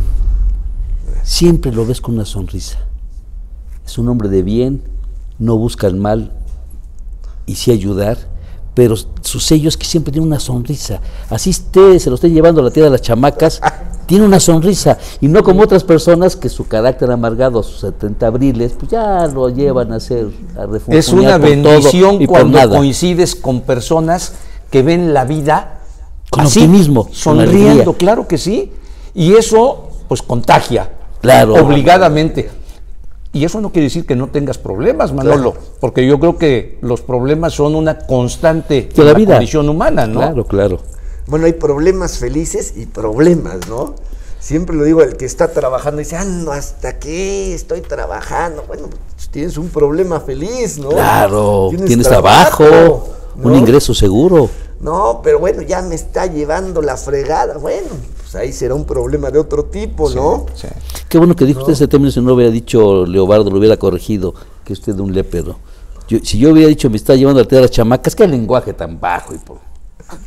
Manolo, ¿cómo está hoy el Cabildo Municipal en relación a la problemática que una ciudad como la nuestra obligadamente eh, genera, ¿no? Claro. Y tiene. Mira, Leo, yo eh, ahor- ahora que la vida me da la oportunidad y Dios de ser regidor, eh, ves la diferencia de, de los diferentes órganos de poder. A mí me tocó ser diputado local Claro. y era un, un- un cargo un poco más alejado de los problemas de la ciudadanía. Era un tema más legislativo, bueno, un, un Es- esa es la función es de- la función, claro. aunque mucha, aunque la gente cree que son gestores y te van a Pero así lo han hecho creer precisamente los diputados. Sí, y ya es un sello que nunca va a Se quedaron ya estigmatizados. Y, el, y el, el último diputado que lo iban a ver y le decían, yo no te voy a resolver nada, fue don Jorge Ellinger en paz descanse. Ya, panista también. Que tocaba puertas y le decían, oiga, ¿usted va a regresar? No, yo no voy a regresar. ¿Cómo que no va a regresar? No, es que mi función es legislar. Y bueno, yo creo que ha sido el último eh, legislador sincero, ¿no? Pero a la vez son gestores, Sí. guste o no, qui- quizás de facto, de hecho, de, dicho vaya. De necesidad, yo lo digo. Claro, o por necesidad, ¿No? pero finalmente son los que eh, la autoridad es el único que le hace caso, o le toma la llamada o le recibe. Porque si usted, si Leo va como Leo, Gerardo va como Gerardo, No, no, no. Y hoy ah, el- pero si toca la puerta el diputado, entonces como que ya hay. aunque sea le dan el avión al diputado. Exactamente. Pero de todas formas, así se han vendido ustedes, los legisladores, Es verdad. como Es gestores verdad. por esencia. ¿Dijo usted vendidos? Sí, señor, vendidos. Así se han vendido. Uno que otro. Ah, no, pero por favor, a- a- use usted bien el lenguaje, por favor. Está usted insultando que fue un diputado vendido. No, yo no, yo no, yo no. No, lo que pasa es que. Lo dijo él. Mira, lo que pasa, Gerardo, que tú vas, tocas la puerta en la colonia y le dices, te dice toda la problemática, la, la señora, el padre de familia, y tú, pues dices, oye, pues vamos a tratar de gestionarlo. Habrá quienes dicen, yo te lo voy a resolver, que le están mintiendo. En 15 minutos te lo resuelvo. 15 y nunca lo resuelven. A eso me refiero con que se han vendido con esa calidad. Ah, es que Sí. claro, usted hoy en bien. el cabildo es diferente, porque el cabildo, eh, algunos dicen que los, los regidores son como legisladores o diputados pequeños, pero no. No. Son diferentes. Sí. Eh, el cabildo lleva 500 años. Hay actas de 500 años, de actas de, de algunas, de algunas, eh, pues, con, bueno, algunas reuniones de cabildo que practican sesiones que tienen 500 años. O sea, lo que tú dices en el cabildo, hay que cuidar qué dices porque se van a quedar. El otro día estábamos viendo un acta de una sesión de un, de un regidor que lleva 500 años. Palabras, eh, punto y coma, lo que tú dices. Y es diferente porque tú ahí sí, creo que la ciudadanía te dice, bueno, ¿qué es un regidor? Pues es la máxima autoridad municipal. Ah, Eso es. Sí. El son pares con el alcalde. Sí. Claro. Son Sí. pares. Así es. El alcalde es el regidor número uno. Exacto. Y así viene los 25 o 23 regidores, un alcalde y una síndica, que, que estamos en el cabildo. Ayer autorizamos lo del convenio de los desayunos fríos y calientes del DIF. Qué bueno que lo retomaron. Sí, sí, Qué sí. bueno, qué buen, ya, excelente. Ya se retomó. La próxima semana yo estaré eh, metiendo al Cabildo un punto de acuerdo que será tasa cero. Eh, actualmente los negocios de, men- de menos de 90 metros eh, quieren sacar su licencia de funcionamiento, quieren eh, sacar su construcción existente, su alineamiento y número oficial, su uso de suelo. Y es muy complicado. Ese conjunto de papeleo que... Burocrático. Ese trámite es lo más engorroso. son, te cuesta más o menos 1.800 pesos. el, el año pasado, solamente el, el ayuntamiento re- recaudó 300 mil pesos de ese trámite. Uh, Con nada. negocios de 90. Entonces, lo que platicamos, el alcalde Eduardo, un servidor, Alejandro Cañedo, es, mira, no te representa nada de recaudación, mejor hay que abrirlo. Ayúdalos, claro. Las licencias de funcionamiento. Para que estén en orden. No exhibe el trámite. Tendrán Hay que hacerlo hacer de todas trámite. formas. Ah, no, eso Pero ya sin costo. Pero sin costo. Y es, Y están en es regla. una manera de apoyar precisamente la economía tan lastimada de tanta gente que busca la subsistencia. ¿Y cuántos operan sin licencia? Todos. Muchos. ¿Sí? Entonces es tiempo de que lo hagan. El que no lo haga, lo hará por flojo y mezquino. El que no lo haga. Porque literal están las puertas abiertas. Tú llegas, dices, necesito esto. Te orientan cómo hacerlo. Incluso hasta vía internet lo van a poder hacer. Si la señora eh, pues no conoce el tema del internet, con el nieto que El ya nieto, el hijo, o en el café internet el lo mismo- auxilia. O el mismo inspector tiene, el ins- los inspectores tienen la, ¿La indicación? obligación, la indicación de que no pueden llegar y clausurar luego, luego, sino tienen que dar un término de tres meses, pero tienen que orientar a la- al, Al contribuyente. al contribuyente. Manuel Herrera, qué bueno que lo señala, porque si algo la ciudadanía estamos hartos y hasta el queque, por no decir hasta la M, si no el señor se me va a tirar la yugular, eh, dice que soy lépero, el lépero sea no yo, de la corrupción. Sí. Y este actos de corrupción de los supervisores, de los inspectores, de los de derecho de vía o como le llamen ahí en el ayuntamiento, cambian cada otro nombre, es, es, es un cáncer que hay que extirparlo. Lo digo porque ayer se presentó ante la Secretaría de Función Pública, Valga Comercial, eh, Foro 21 presentó una demanda para que se esclarezcan los hechos de lo que, de lo que pasó en el sector salud este ciudadano que nos hizo, que nos entregó cin- 43 cajas con documentación. Es una bomba que debe de declarar y no intimidar la secretaria de la Función Pública como lo hizo con un servidor.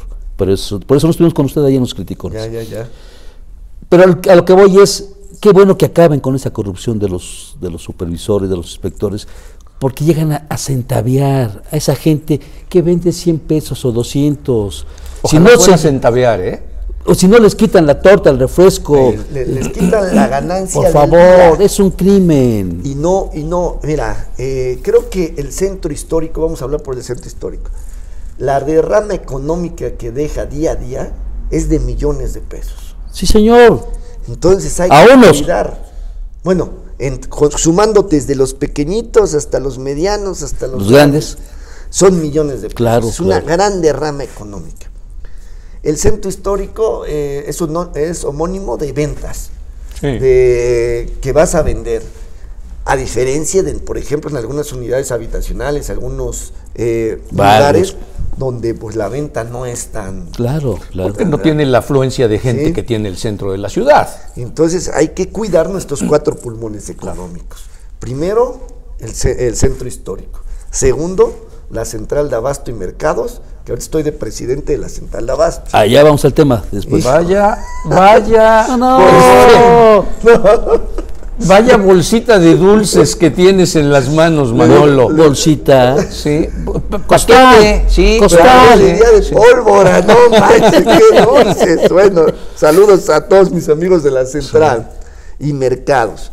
Eh, luego viene centros comerciales y el cuarto pulmón económico son eh, negocios de servicios y, bueno, Los de barrios, colonias. Comercio de barrios y colo- y colonias de venta de servicios y productos y micronegocios. Esos son nuestros, nuestros cuatro pulmones económicos.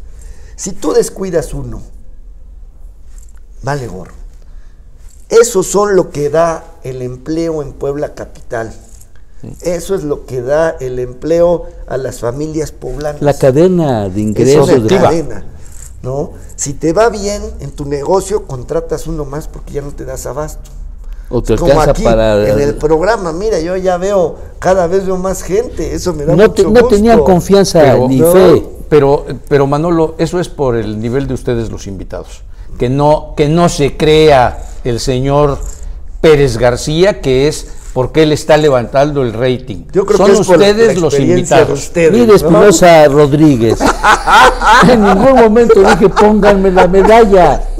La medalla la tiene Manolo Eso Herrera. No, no, Y. Pepe Centeno, Ah, claro. y Gerardo Reyes Guzmán, que vendrá en unos Bueno, minutos. nada más que llegue, no podemos eso. hablar de con él, hay que ver cómo se desenvuelve, cómo se desempeña. Estamos hablando de los que ya están. Lo vas a valorar. No, no, por eso, permítame usted, ya llegará.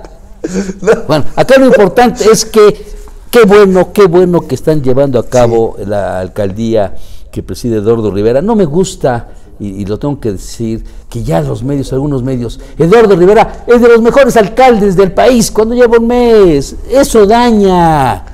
Ahora el reto es no bajar. Claro, ¿para qué? Ahorita lo importante, tienen eh, tres años de una ciudad que se perdió, tres años de una ciudad que se extravió, tres años de una ciudad que se prostituyó, tres años de una ciudad que se corrompió. verdad, es verdad. Cu- Lo comentamos en Foro 21, lo que recaudaban o recaudan en la prostitución del centro histórico. 12 millones al año nada más de los 100 o 50 pesitos que pagan a sex, sexo servidoras. ¿Y a dónde se quedaba eso? Por favor, en vía pública o en gobernación ellos Pero sabrán. no en las arcas Claro que no. Ahí está. Y nada más hablamos de el No. sexo servidoras del centro histórico. Nada más. 32 millones de pesos. Imagínate. Y no hablamos de Mira, y- casas de cita, ¿sabes qué, antros. Gerardo, Leo, mira, a ver, uno que ha caminado los diferentes distritos de esta ciudad, que queremos, que nacimos aquí, que nos vamos a morir aquí, que amamos a Puebla, para Claro. mí es la ciudad más bonita del mundo, Claro. porque pues aquí vivo. Aquí No, hay uno que es. España ya su dice que es su primera casa. No, no, aquí es mi primera No, casa. des- después, fueron de después le platico, abuelos. después le ¿Eh? no, pero por ustedes no la compro, yo hablo de otro. Después le platico Yo quién. no, y yo qué culpa tengo que mis hijas tengan 20 años de vivir en España. Yo sigo siendo poblano y Sin querer, mexicano. una carambola Sí. de tres baldas porque me llevé a dos. Fíjate, No, fíjate que, que Puebla fue la última colonia española. Sí. En la Catedral de Puebla, en la parte de arriba, está el escudo español. Y aquí el cabildo, la historia del cabildo, bueno, ustedes saben más que yo. Estaba el cabildo de Indias y el cabildo español. El cabildo de Indias estaba en el portalillo, Sí. donde está la jirafa. Ahí era donde, eh, donde sesionaban los regidores. Allá en Santiago. En Santiago. Y el otro era el de españoles. Si yo me agarraba el trago y, y yo era eh, de la comunidad india, no me podía juzgar el cabildo español. No había manera. Y viceversa. Y viceversa. Si, si yo era español y, y me agarraba el, po- el policía de la comunidad india, no me podía Juzgar los españoles. Entonces, al final del día, como era un merequetengue, que si yo era, y al final nos tenían que ir rolando, pues, ¿qué se hizo? Bueno, se sumaron ese cabildo y fue el, el cabildo poblano, que al lado está la casa de los muñecos, que esa es otra historia. Los muñecos son los regidores de esa época, porque no le querían dar la licencia al que, ti- al que hizo la casa de los muñecos, y dijo, no puede haber una propiedad más alta que el, que el ayuntamiento de Puebla. Dijo, ¿cómo no? Yo la voy a hacer. Y el día que la logró hacer, Órale. pues puso a los regidores ahí vestidos de ca- cavernícolas, de espero que yo no aparezca así en algunos años con tanga blanca, ¿no? O negra. o negra, o azul para no perder, ¿no? Pero así fue la historia. Entonces, yo quería ser diputado, todos lo saben. Eh, Pepe me hizo la, Pepe Centeno me hizo mi encuesta y me dijo, tú puedes ganar pero hay que hacer esto, esto, esto. Al final, el partido no, bueno, la dirigente que ya, gracias a Dios, le ganamos, sale, pero ella me dice, no, no vas a hacer. Y me da la oportunidad de ser regidor, de ser candidato a regidor. Y no fui en las primeras posiciones porque dije, no, a ver, Le tocó la cola. me tocó la- el 15, el 15 lugar, la que, sí, la cola, casi, casi. Y eh, dije, no me importa, porque si perdemos, yo no quiero ser regidor. Usted creyó en un proyecto. es Yo que creí vale. en el proyecto. No iba de pluri ni en No, las no, primeras no. que entraban seguros. Yo quería ir, porque yo quería que ganara Eduardo, y si ganaba yo entrar, no que yo entre, entre y, Y él perdiera. la- y él perdiera. No, no era mi intención, mi intención era ganamos, ganamos todos, perdemos, perdemos todos. Claro, claro. Y hoy está así la situación, estamos haciendo caminatas por la economía, por el desarrollo económico, reactivación económica, están muy buenas. Fíjate qué nos pasó. Abrimos la caminata en la libertad. Y en la libertad, eh, por, el, por el volcán más pequeño, el Ujú, Cuescomate, Cuescomate. decían, bueno, ¿qué, qué necesita usted, señora, para vender más? Y dijo, que abran el Cuescomate de lunes a domingo, porque no se estaba abriendo diario. Y que promuevan el Cuescomate. Claro. Eso dijo. Eso es lo que pedía la gente de ahí para vender más. Algo tan sencillo, tan Algo tan simple. sencillo y simple. Que no tiene costo alguno. Fuimos y Eduardo y dieron, dimos la, bueno, dio la orden y que se abriera el Cuescomate de lunes a domingo. La gente contenta porque eh, pues hoy la gente puede ir. O sea, si tú en algún lugar del mundo, que hoy es Puebla, promocionas el volcán más pequeño del mundo, a fuerza tienes que ir. Si cómo impactó lo de Loyanco allá del... Eh, Sí, ahí en eh, por Cholula, ¿no? No, sí, cómo sí, no. Juan, San Juan, Juan C. Bonilla. en Juan C. Bonilla. Sí, sí. Y Ahí, que el fue un- socavón. el socavón y fue efímero, pero fue una nota a nivel internacional. ¿Cómo no explotar que tenemos en Puebla y en la ciudad de Puebla el volcán más Que pequeño? finalmente forma parte de esta red de volcanes. Claro, que claro, circundan claro, al área claro, de Puebla, ¿no? claro. Mira, en Lanzarote, en, en las Canarias, Sí, allá en España, en donde España, sí, en sí, las sí, Islas sí. Canarias, una de las islas más pequeñas de las Canarias, prácticamente hubo erupción de volcán. Sí, sí, sí. Y hay la lava, o sea, hay un cerro de lava. Sí, sí, sí, sí. Y cuando sucedió eso han de haber hecho, ya nos llevó la No. fregada. ¿Qué hicieron? Se acomodaron y se acoplaron y, y hay viñedos que ponen en medio de la roca volcánica. Eh, hay eh, tours de turistas que suben en el camello ahí. Sí, se Otro- volvió un detonante turístico para, para la comunidad. Claro, Sí, claro. Hoy vive Lanzarote de turismo. Sí, sí. Supieron explotar, están sabiendo explotar. Y era algo, y literal, quieres asar un pollo arriba del cráter. Ahí pones tú. Sí, sí, pones sí. el pollo en una planchita y te lo comes. La gran ventaja ¿Eh? de los volcanes cuando van a hacer erupción o hacen erupción, porque esto lo vivimos con Manuel Bartlett con el, con el Popo, es que te da tiempo de que la gente salga. Sí es devastador, pero no es eh, devastador que baje a una velocidad de 100 kilómetros por decirlo. Es lento su, su bajada, destruye lo que encuentra a su paso, pero en cuanto a personas, eh, pérdidas materiales son brutales, pero humanas son mínimas porque te da tiempo a que salgas, que eso pasó eh, en esta isla allá en España. y que, que la gente en ese momento decía, ¿qué voy a hacer? Y hoy les va mejor Ya como estaba. que como estaban. Entonces, Pero bueno, eso implica previsión, Visión. eso implica visión de futuro implica tomar las acciones que corresponden para que dependiendo las circunstancias se instrumenten o no. Así es. Manolo, el problema más grave que visualizan ustedes hoy de la ciudad de Puebla, que son muchísimos, ¿eh?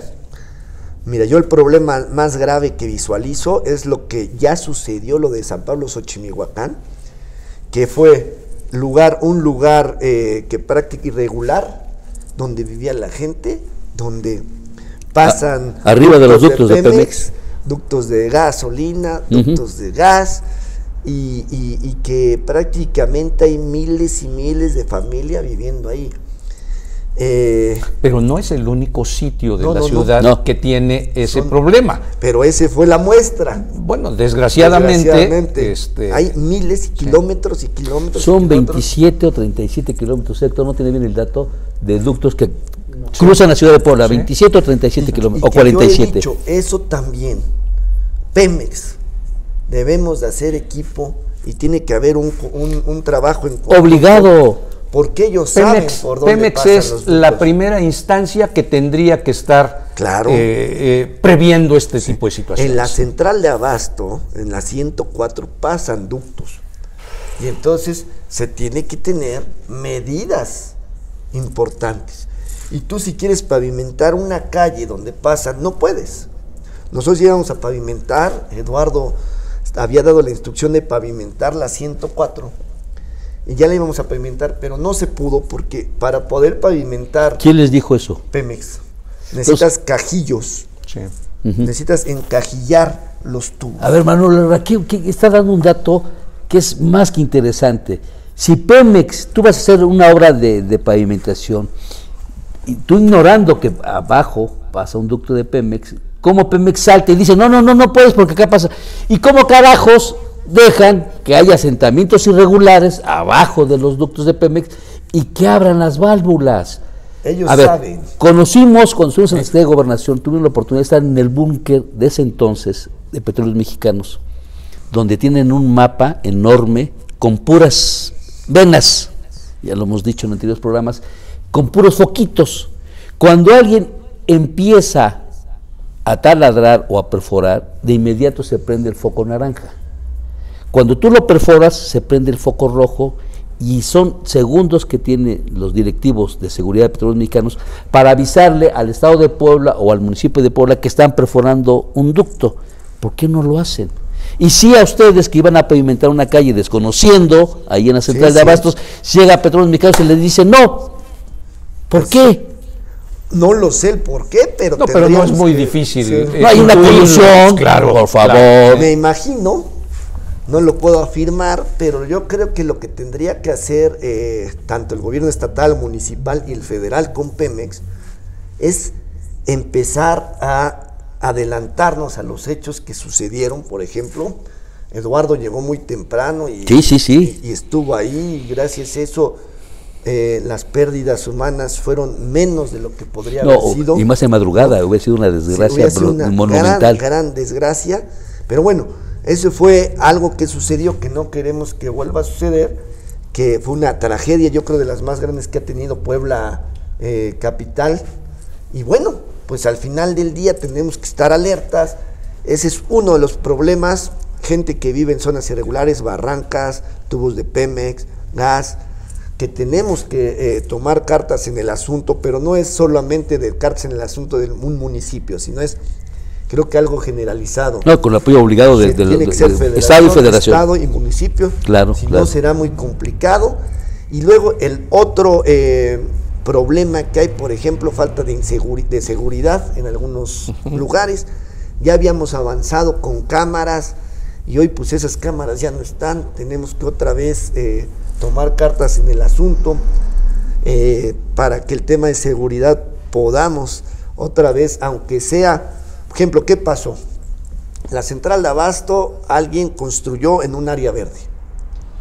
Nos dimos a la tarea, se vio que en esa área verde eh, había licencias emitidas por el gobierno de Claudia. En un área verde, tú sí puedes ser dueño de un área verde.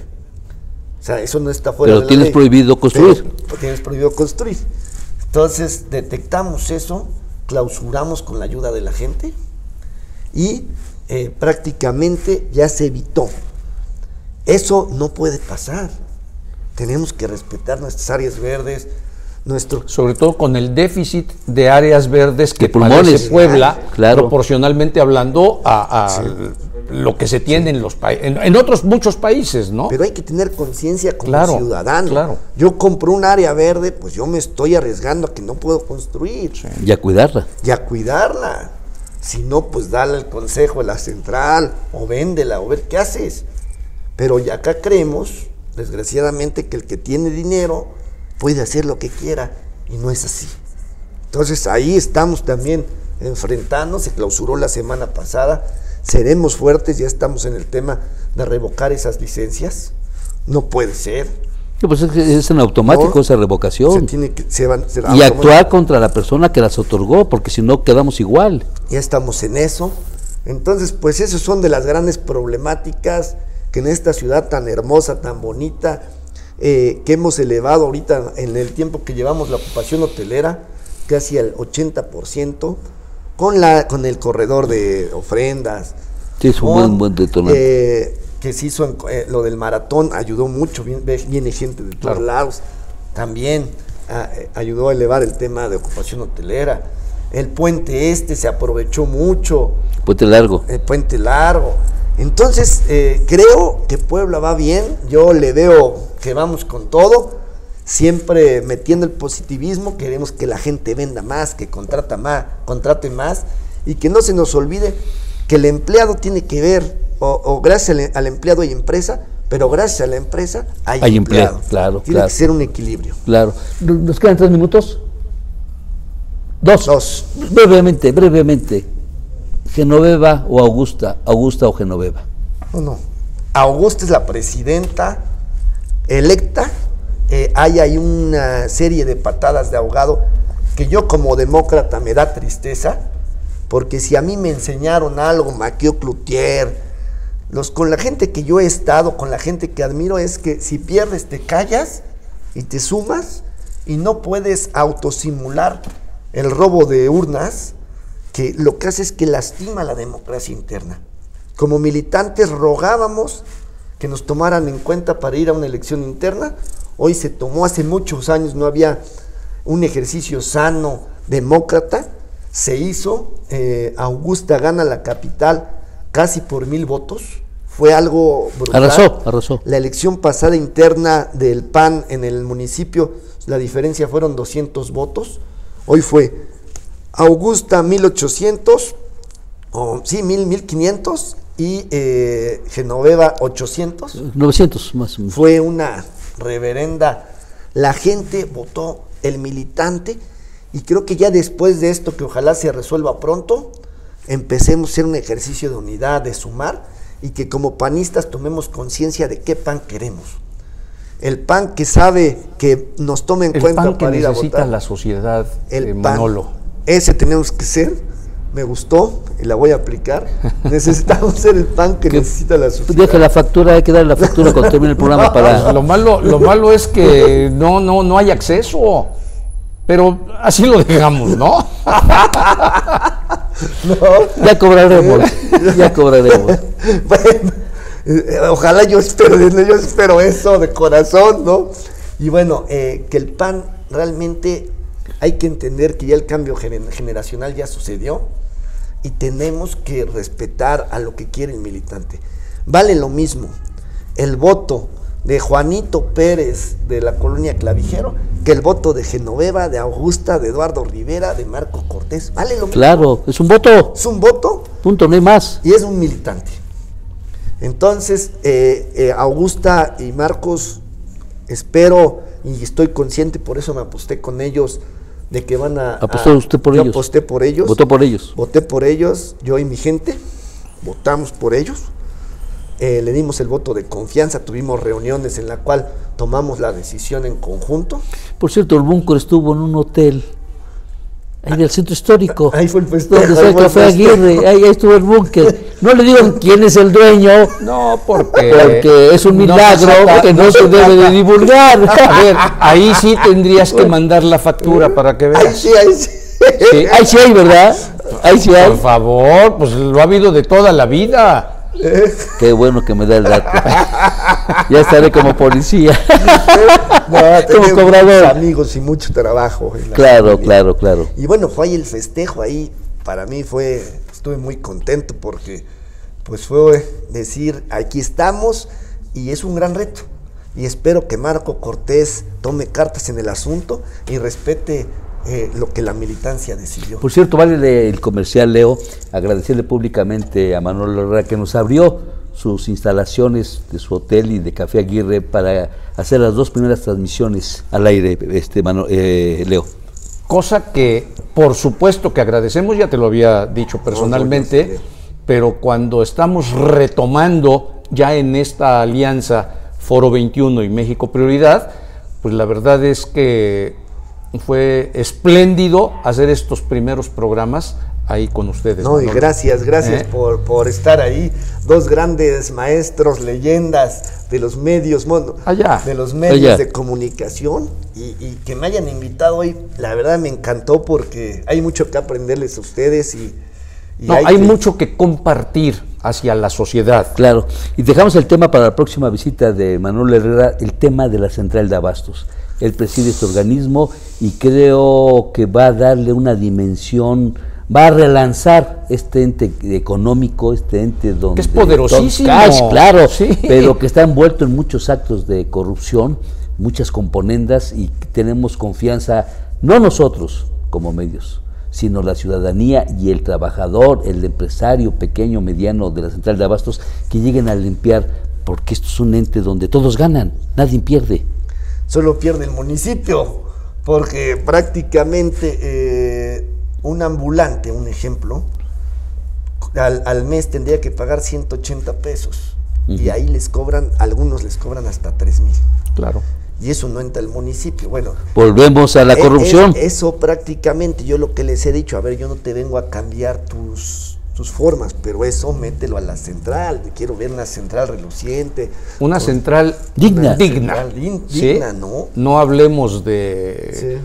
Bueno, sí es un aspiracionismo, ¿no? Pero este. Hoy somos que- el lugar 13 de ventas a nivel nacional. ¿13? Sí, les digo, tenemos que estar en los primeros cinco. Cinco, claro. Porque la central. Ay, lo hay- da, Y hay da. empresarios de nivel. El ingeniero Huerta, Federico Cantero, gente que tiene, tiene sus negocios, nombre, nombre. 60, 80 empleados en una bodega. sí. Pues eh, deben de ser ejemplo para los demás, ¿no? Sí, sí. Y, y una aspiración. Por eso hablaba yo de aspiracionismo, porque sé que a ti no te gusta. Tú no eres aspiracionista, Gerardo. Tú eres un mediocre que te has eh, conformado. Vea, ahora, ahora ya me tacha de Pues Pero, mediocre. pero, No, pero la veo- ya le ganó, no veo Vamos a, gusto- respetar, vamos a respetar sus canas mejor. Veo con gusto que sí tienes cuando menos dos pares de zapatos. Ojalá. Tres, tres. Yo tengo uno, no. exquisito que es. No hay nada de soberbia.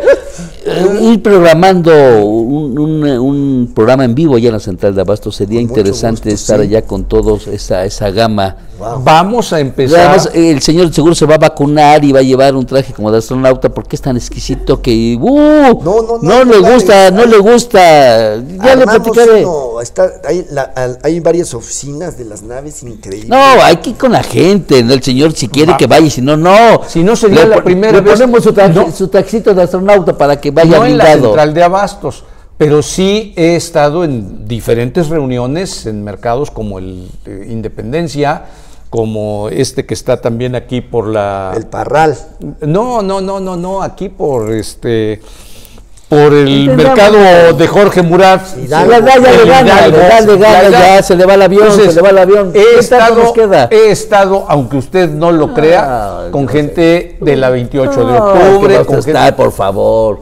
En fin, Manuel Herrera, un placer tenerte, no, no, un, un placer tenerte acá en el, en- en- en el estudio, en, en esta casa de México Realidad y Foro 21. no sé cuántos programas llevamos y no se puede aprender que es México prioridad. Por eso y es dijo, real- dije México, México priori- realidad. Dije México prioridad. Ok, ándele, sí, ahí está grabado. Vámonos a corte. Manolo, Caray. Las que no Manolo, mucho gusto en saludarte. Ya está el siguiente No, invitado. no, no ha llegado, pero bueno, pues eh, no pasa nada tampoco. Vamos a corte.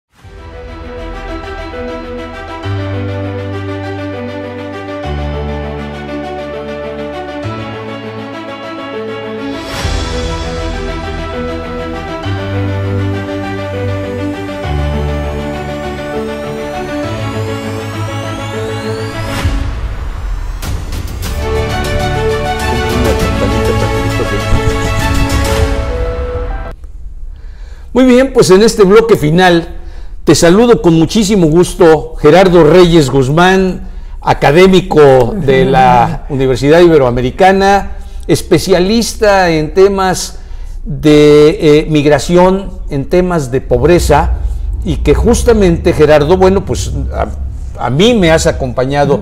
Se va a sentir aquí don, don Gerardo, tu tocayo, porque diga, a mí me has acompañado. De muchos años atrás Sí, claro. me has hecho favor de compartir tu conocimiento, tu experiencia, y ahora en esta alianza con, con Gerardo y Foro 21, pues eh, qué mejor que estés aquí nuevamente, Claro. con un tema tan, con temas tan sensibles como estos, en los que pues tienes una voz autorizada, Gerardo. ¿Cómo estás? Muy bien, muy bien. Pues nada más para precisar, ya no estoy en la Iberoamericana, estoy en la Universidad La Salle, Bajío, fíjate. Ahí estoy prestando mis servicios como profesor investigador de tiempo completo. Pero en este momento, por uh, cuestiones de pandemia, estoy trabajando a distancia desde Puebla, porque yo sigo viviendo en Puebla. Bueno, pues, pero de todas formas, tu, tu, Ibero, de todas formas, pues este, sí, fue una, no la puedes negar. Claro, claro, sí, sí, sí fue un, un, tiempo, fueron 15 años muy productivos desde el punto de vista de la investigación, ahí me formé y le guardo mucho cariño a la universidad. Pero en principios e ideologías son muy similares, la Salle sí, y la Ibero. Fíjese que sí, muy, sí, sí, mucho, exacto. De, de. Sí, sí, sí. De hecho, hay muchos, uh, eh, hay egresados de la Salle que están en puestos directivos en la Ibero, ¿no? Y viceversa. Y viceversa, sí, no son, pues son eh, eh, instituciones eh, religiosas muy, muy importantes. Comprometidas con Exacto, los sí. más vulnerables, Eh, ¿no? el- en, ah, en el Bajío, la, la Salle tiene eh, una influencia, sí. exactamente, Sí. incluso eh, con egresados que ocupan puestos de,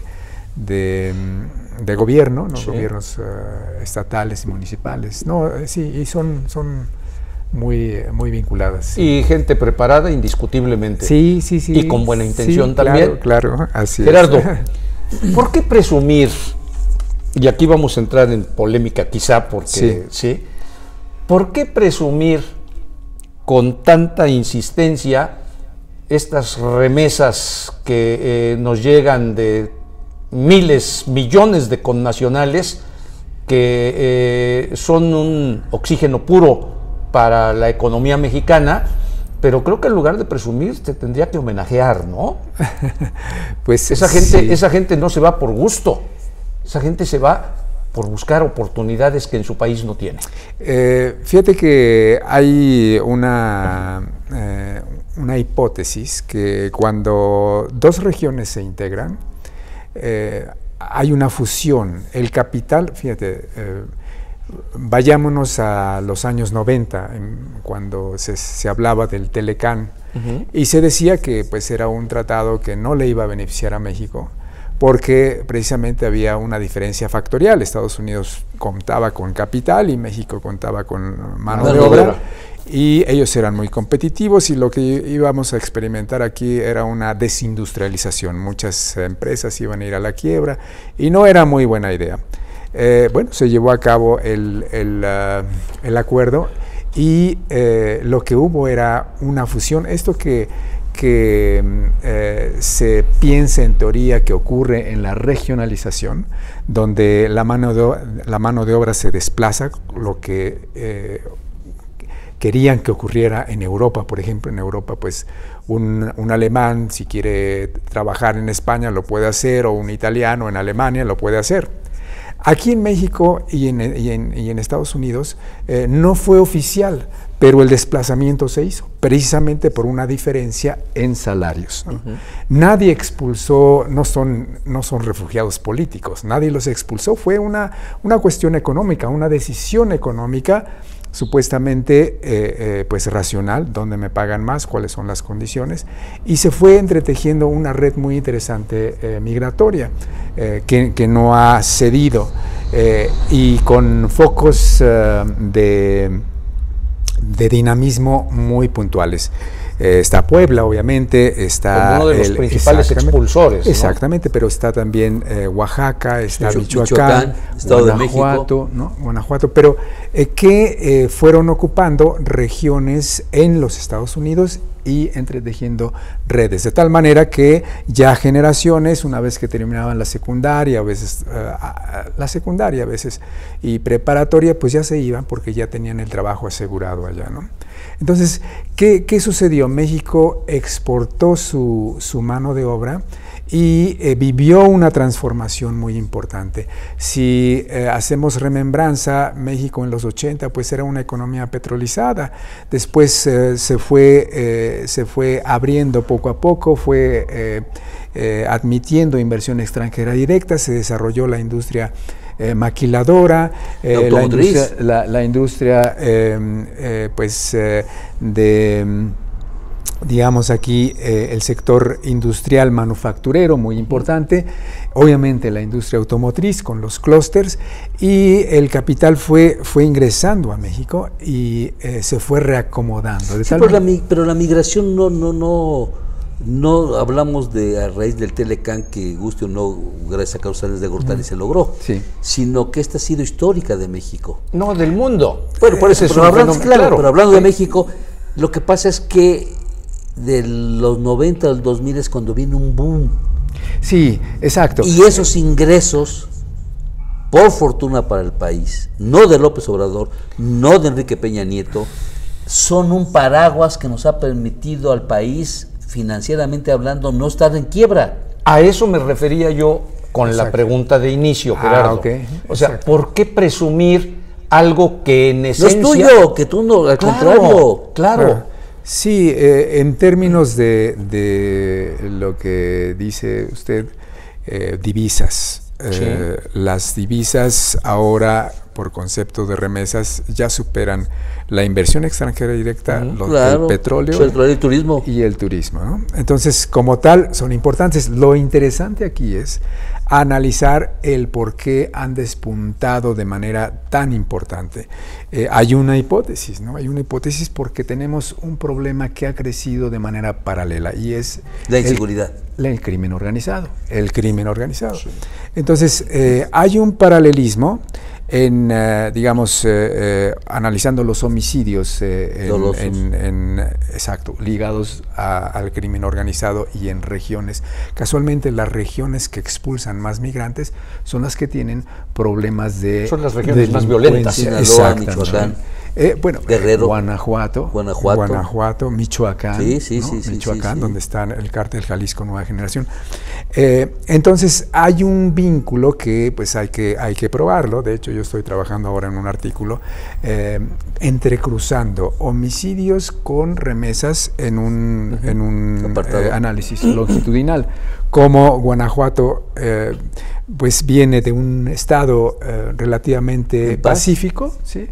Eh, mm, acoge a las armadoras, se hacen los clústeres así tan importantes y de enclave como es de Silao, y, y empiezan a surgir los cárteles haciendo pinza por el Golfo y el Pacífico, eh, y, y donde se encuentran grupos delincuenciales muy importantes como los Zetas, el cártel Jalisco Nueva Generación, eh, la familia michoacana, y, eh, y- y hacen de Guanajuato... Sinaloa. un- un- esa, claro, claro. eh, el- el- el- obviamente la historia del narcotráfico viene Como punto desde central. más atrás. Es el papá y la mamá. Así es. Pero ellos entretejen una, una, una red de, de- de comercio externo muy importante.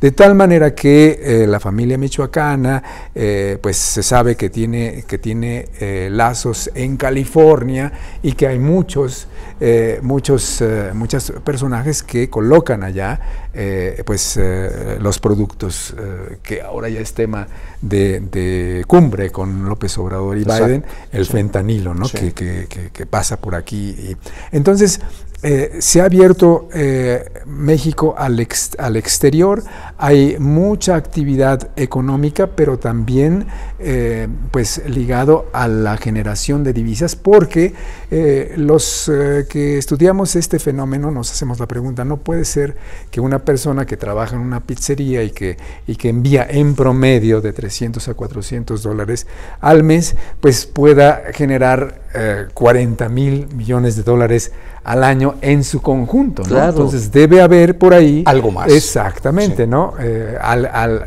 alguna actividad que genere mucho mayor valor Más agregado. redituable. Exactamente. Sí. Ahí lo dejamos a la imaginación. Pero nada que ver con el hielo, ni con la Coca-Cola, ni Pepsi-Cola. Eh, entonces hay una economía que, que ha crecido a la par, que es una economía eh, pues subterránea, porque para los, los norteamericanos pues también es muy cómodo. ¿Por qué? Porque se generan las divisas aquí y se van para allá para comprar armas, ¿no? Es ida y vuelta. Claro, entonces eh, eh, es, es un negocio redondo, pero no eh, necesariamente ético, ¿no? Pero, y, quien paga las más caras consecuencias es México. Pues tampoco, fíjate que, que le, le ha beneficiado. Ha, No, ha sí, habido, no. ah, fíjate, si, si, si fuéramos un poquito más allá de, de la inmediatez, diríamos que México, eh, sin quererlo, ha planeado la reinvasión a sus territorios que eh, fueron, eh, Suyos, fueron nuestros. cedidos, exactamente, fueron cedidos por eh, en el siglo XIX. ¿no? Sí, de- Eh, sa- te hablan, joven Santana, 35, donde te encuentres. 35 Pero dilo millones por de su nombre completo, Don Antonio López de Santana. ¿Sí? Qué Joven bueno, Santana. Qué bueno que me está aquí hablando qué de bueno, rockero. Qué bueno que me auxilió usted, porque usted tiene una memoria privilegiada a sus 71 años. Pero, pero estamos hablando de una nueva generación de norteamericanos que ya tienen una, eh, un vínculo con México. Por ejemplo, los DACA son, son norteamericanos, ya no Claro, tienen ningún vínculo claro, de acá. claro, y claro. cuando vienen acá, que se ven como nosotros, pues no son como no son Ya mexicanos. no, porque no nacieron acá. Claro, ya están formados con Eh, el es- chip de eh, Estados Unidos, por favor. ¿no? Entonces, Oiga, eh, pero eh, ahorita que hab- habla de las drogas. O sea, yo eh, viendo Cuidado, ayer, cuidado. viendo Sí. ayer un programa Sí. eh, televisivo donde en esta región de, de Michoacán, en la Tierra Caliente, tienen su propio centro de drogadictos anónimos. Y a quien encuentran consumiendo el hielo o vendiendo el hielo, los internan so pena de ponerlos a disposición de la cárcel, eh, de las autoridades, perdón, para que vayan a, a prisión. Pero la manera en que los castigan y los tienen, ya no sé si sea bueno o sea malo, porque este cártel Jalisco Nueva Generación, yo no entiendo cómo el gobierno federal permitió que se apoderaran de un territorio mexicano. Está Guerrero, que no han querido conocerlo, pero está en las mismas circunstancias, porque allá es el corazón del opio, de la goma, por favor. Entonces, dices, bueno, ¿la corrupción de quién es? ¿Del ejército? ¿Del presidente en turno? Era bueno hasta Cedillo que no veíamos las masacres, los colgados, descuartizados, eh, descabezados, pozoleados. ¿No los veíamos o no, lo sabía? No, no lo sabía, no lo sabía, no lo sabía, no lo sabía. Y cómo cuando, a raíz de que llega Vicente Fox y se da casualmente la fuga a un mes de prisión, de, de haber tomado posición Fox, él toma posición en, en diciembre del 2000, en enero del 2001, se le fuga el Chapo Guzmán y es cuando viene este parteaguas de esta descomposición. Si hasta ayer había reglas de oro no escritas de respeto, las aplaudo y que regresen. Porque de Ernesto, de Vicente Fox, Felipe Calderón, Enrique Peña Nieto y ya sabes quién que está hoy en Washington, López Obrador, no termina esta masacre. ¿A dónde vamos a dar? Claro, claro eh, este se ha vuelto un problema eh, muy, muy complejo, pero también eh, hay que hacer alusión a las sinergias. Eh, ha crecido porque precisamente la clase política ha encontrado un beneficio con ello, ¿no? Claro. eh, es, es como haberle dejado eh, al diablo al cuidado de la iglesia. Claro. Ellos Claro, son, claro. ellos son los que se, se, se dan eh, pues eh, el privilegio de combatir a la delincuencia y al mismo tiempo los que los que pactan con Sí, pero López Obrador prometió y juró con su cuarta transformación, no mentir, no robar, no traicionar. Y el índice de crímenes dolosos no solo no se han contenido, Han aumentado. Aumentado. Claro, claro. La droga sigue circulando mañana, tarde y noche. Sí. Los muertos por sobredosis, tanto en México como en Estados Unidos, ya es alarmante por estos químicos. Claro, claro, sí, sí, sí, sí. No, de, de hecho, eh, en paralelo, eh, las organizaciones se han sofisticado. Claro. Ya son, ya son, eh, ya, ya tienen a, al, a su en sus filas eh, Sus ingenieros. gente- exactamente que eh, opera con drones que opera No, con no, con toda la tecnología que les, que les permite mejorar sus, sus ¿Y cómo propias obtienen operaciones. ese- esa tecnología? ¿De dónde llega? Pues llega del otro lado, porque a Estados Unidos le conviene y a México le conviene. pero eh, eh, fíjense, aquí hay un, una- en, en- en la teoría de sistemas eh, se, se piensa que bueno, pues un, un sistema eh, empieza a operar siempre y cuando haya un equilibrio. ¿no? Eh, pero ah, por lo regular eh, se presentan hipertrofias, ¿qué quiere decir? Crecimientos, eh, crecimientos que ya no puede soportar el sistema. Y Que ya no un- son controlables. es- exactamente. Y, un- y uno, y uno de los aspectos que va a desinflar esto eh, va a ser cuando los Estados Unidos declaren a los cárteles mexicanos como grupos terroristas. Porque entonces en ese, eh, en ese momento... ¿Está usted como eh, Trump que lo propuso? eh, ¿Coincide eh, usted con eso? Pues ese, eh, en ese momento... Que nos vengan a ordenar Bueno, ellos y pero que... es que aquí... Nos han ordenado siempre, no, no, No, no, seas pero sí, ingenuo. pero no, no, no, no, no, no, no, no, perdóneme usted, pero ¿cómo dijo usted que soy qué? Naco, ¿cómo dijo usted? Síguele, porque si no se va a acabar el programa. De todavía, este, fíjese que, no, no, pero ¿a poco ese, ese- ese sería? No, pero eh, a ver, no estamos hablando aquí eh, de, de soberanía, estamos hablando de, de una imposibilidad, nacional. no, de una imposibilidad del gobierno mexicano para hacer frente a esto, ¿no? Entonces ya se vio que, que México, eh, bueno, se- eh, no se acepta, ¿verdad?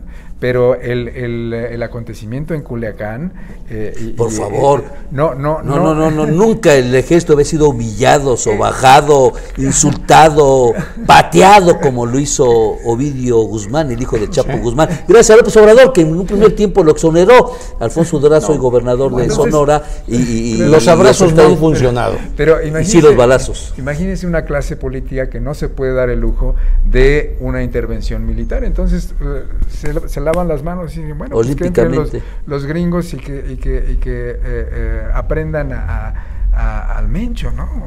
Y a, y a donde están eh, eh, situados eh, sus, sus centros de operación, ¿no? Oye, Gerardo, ahorita Oigo. que tocas esto, Oigo. Dijo usted Gerardo, ¿no? la militarización en la que está inmersa nuestro México, ¿qué te hace pensar? Primero, ¿coincides que sí hay una un camino a una militarización o no? Ya Eh, está. eh, no, por eso, pero, pero bueno, eh, déjeme que el especialista es que- lo conteste. Hay una, Perdone, pero meter mi cuchara, pues soy ignorante del tema. hay, hay una diferencia cualitativa, ¿no? Cuando se habla de militarización, a menudo nos ponemos a pensar en los golpes de Estado Claro. de eh, América Latina, ¿no?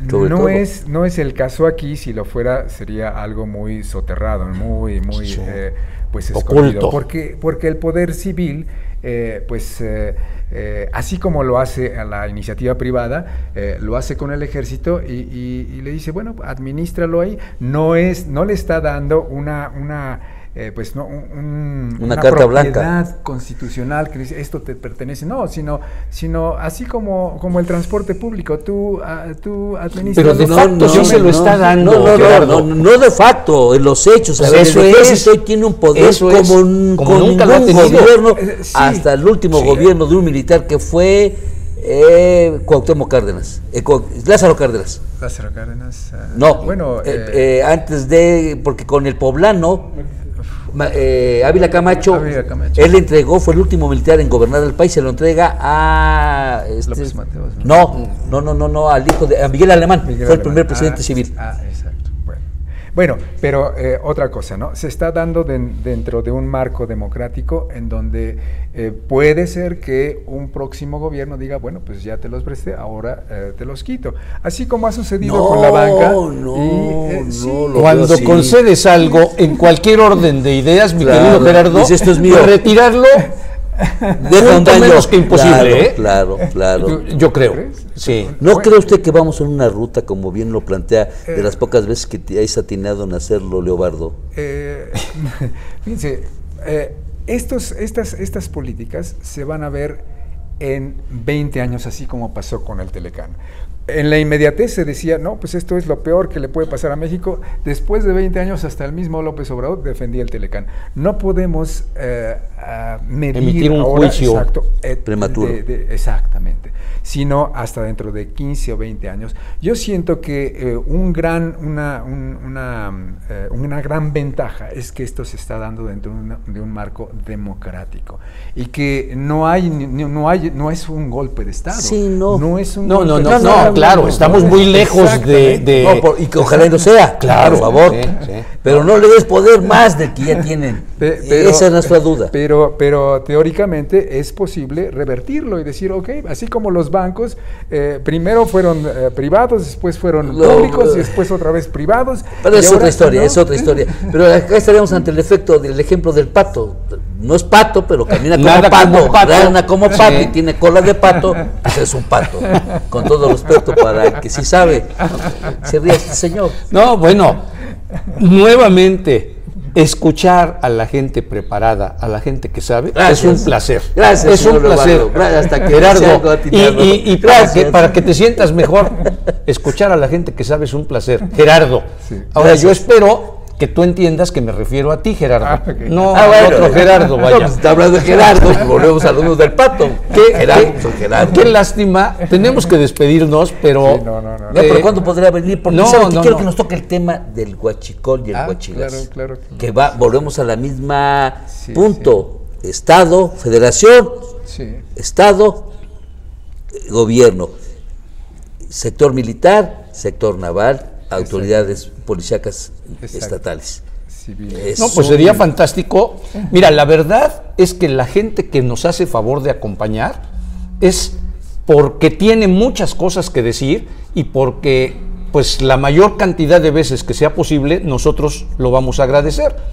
Si te parece, a reserva de que lo agendemos, Claro Eso. en, en dos, tres semanas Me parece muy bien. vienes nuevamente. Sí, claro. Dos, tres semanas. Todavía nos da tiempo antes del 15 de, de diciembre. Dos semanas sí nos daría tiempo, tres ya lo veo muy apretado. Bueno, o sea, Claro que sí. porque a partir del 15 de diciembre vamos a descansar recíprocamente y ya en enero ya estaremos todos los días, De de, lunes a lunes a viernes. de 10 a 12 de la Ah, mañana. qué bueno, qué bueno. En Pero nos estudio ponemos de acuerdo, un sí, señor claro que es Richard, Richard Burton. Ah, ok. Ahí después le digo quién. Ok. Despida usted la transmisión, por favor. A sus órdenes, señor.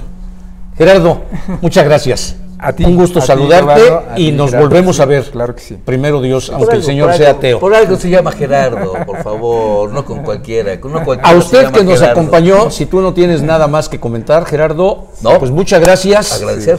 Yo creo que cada día que va pasando vamos haciendo programas asasasazos, aunque suene presuntuoso, pero no es porque los haga usted o los haga yo, es por la calidad de los invitados. Claro, ¿quién Sí. va a tener el lunes? ¿Para qué me preguntas si todavía no sé? Déjeme No, descansar, no, si eso es parte del, eso es parte de la Yo complicación. creo que ha de cargar a los invitados, por eso déjeme descansar. Pero en fin, ahí la dejamos. tenga un espléndido inicio de fin de semana, pásela bien y nos vemos y nos escuchamos el próximo lunes 10 de la mañana. De 10 a 12. Gracias.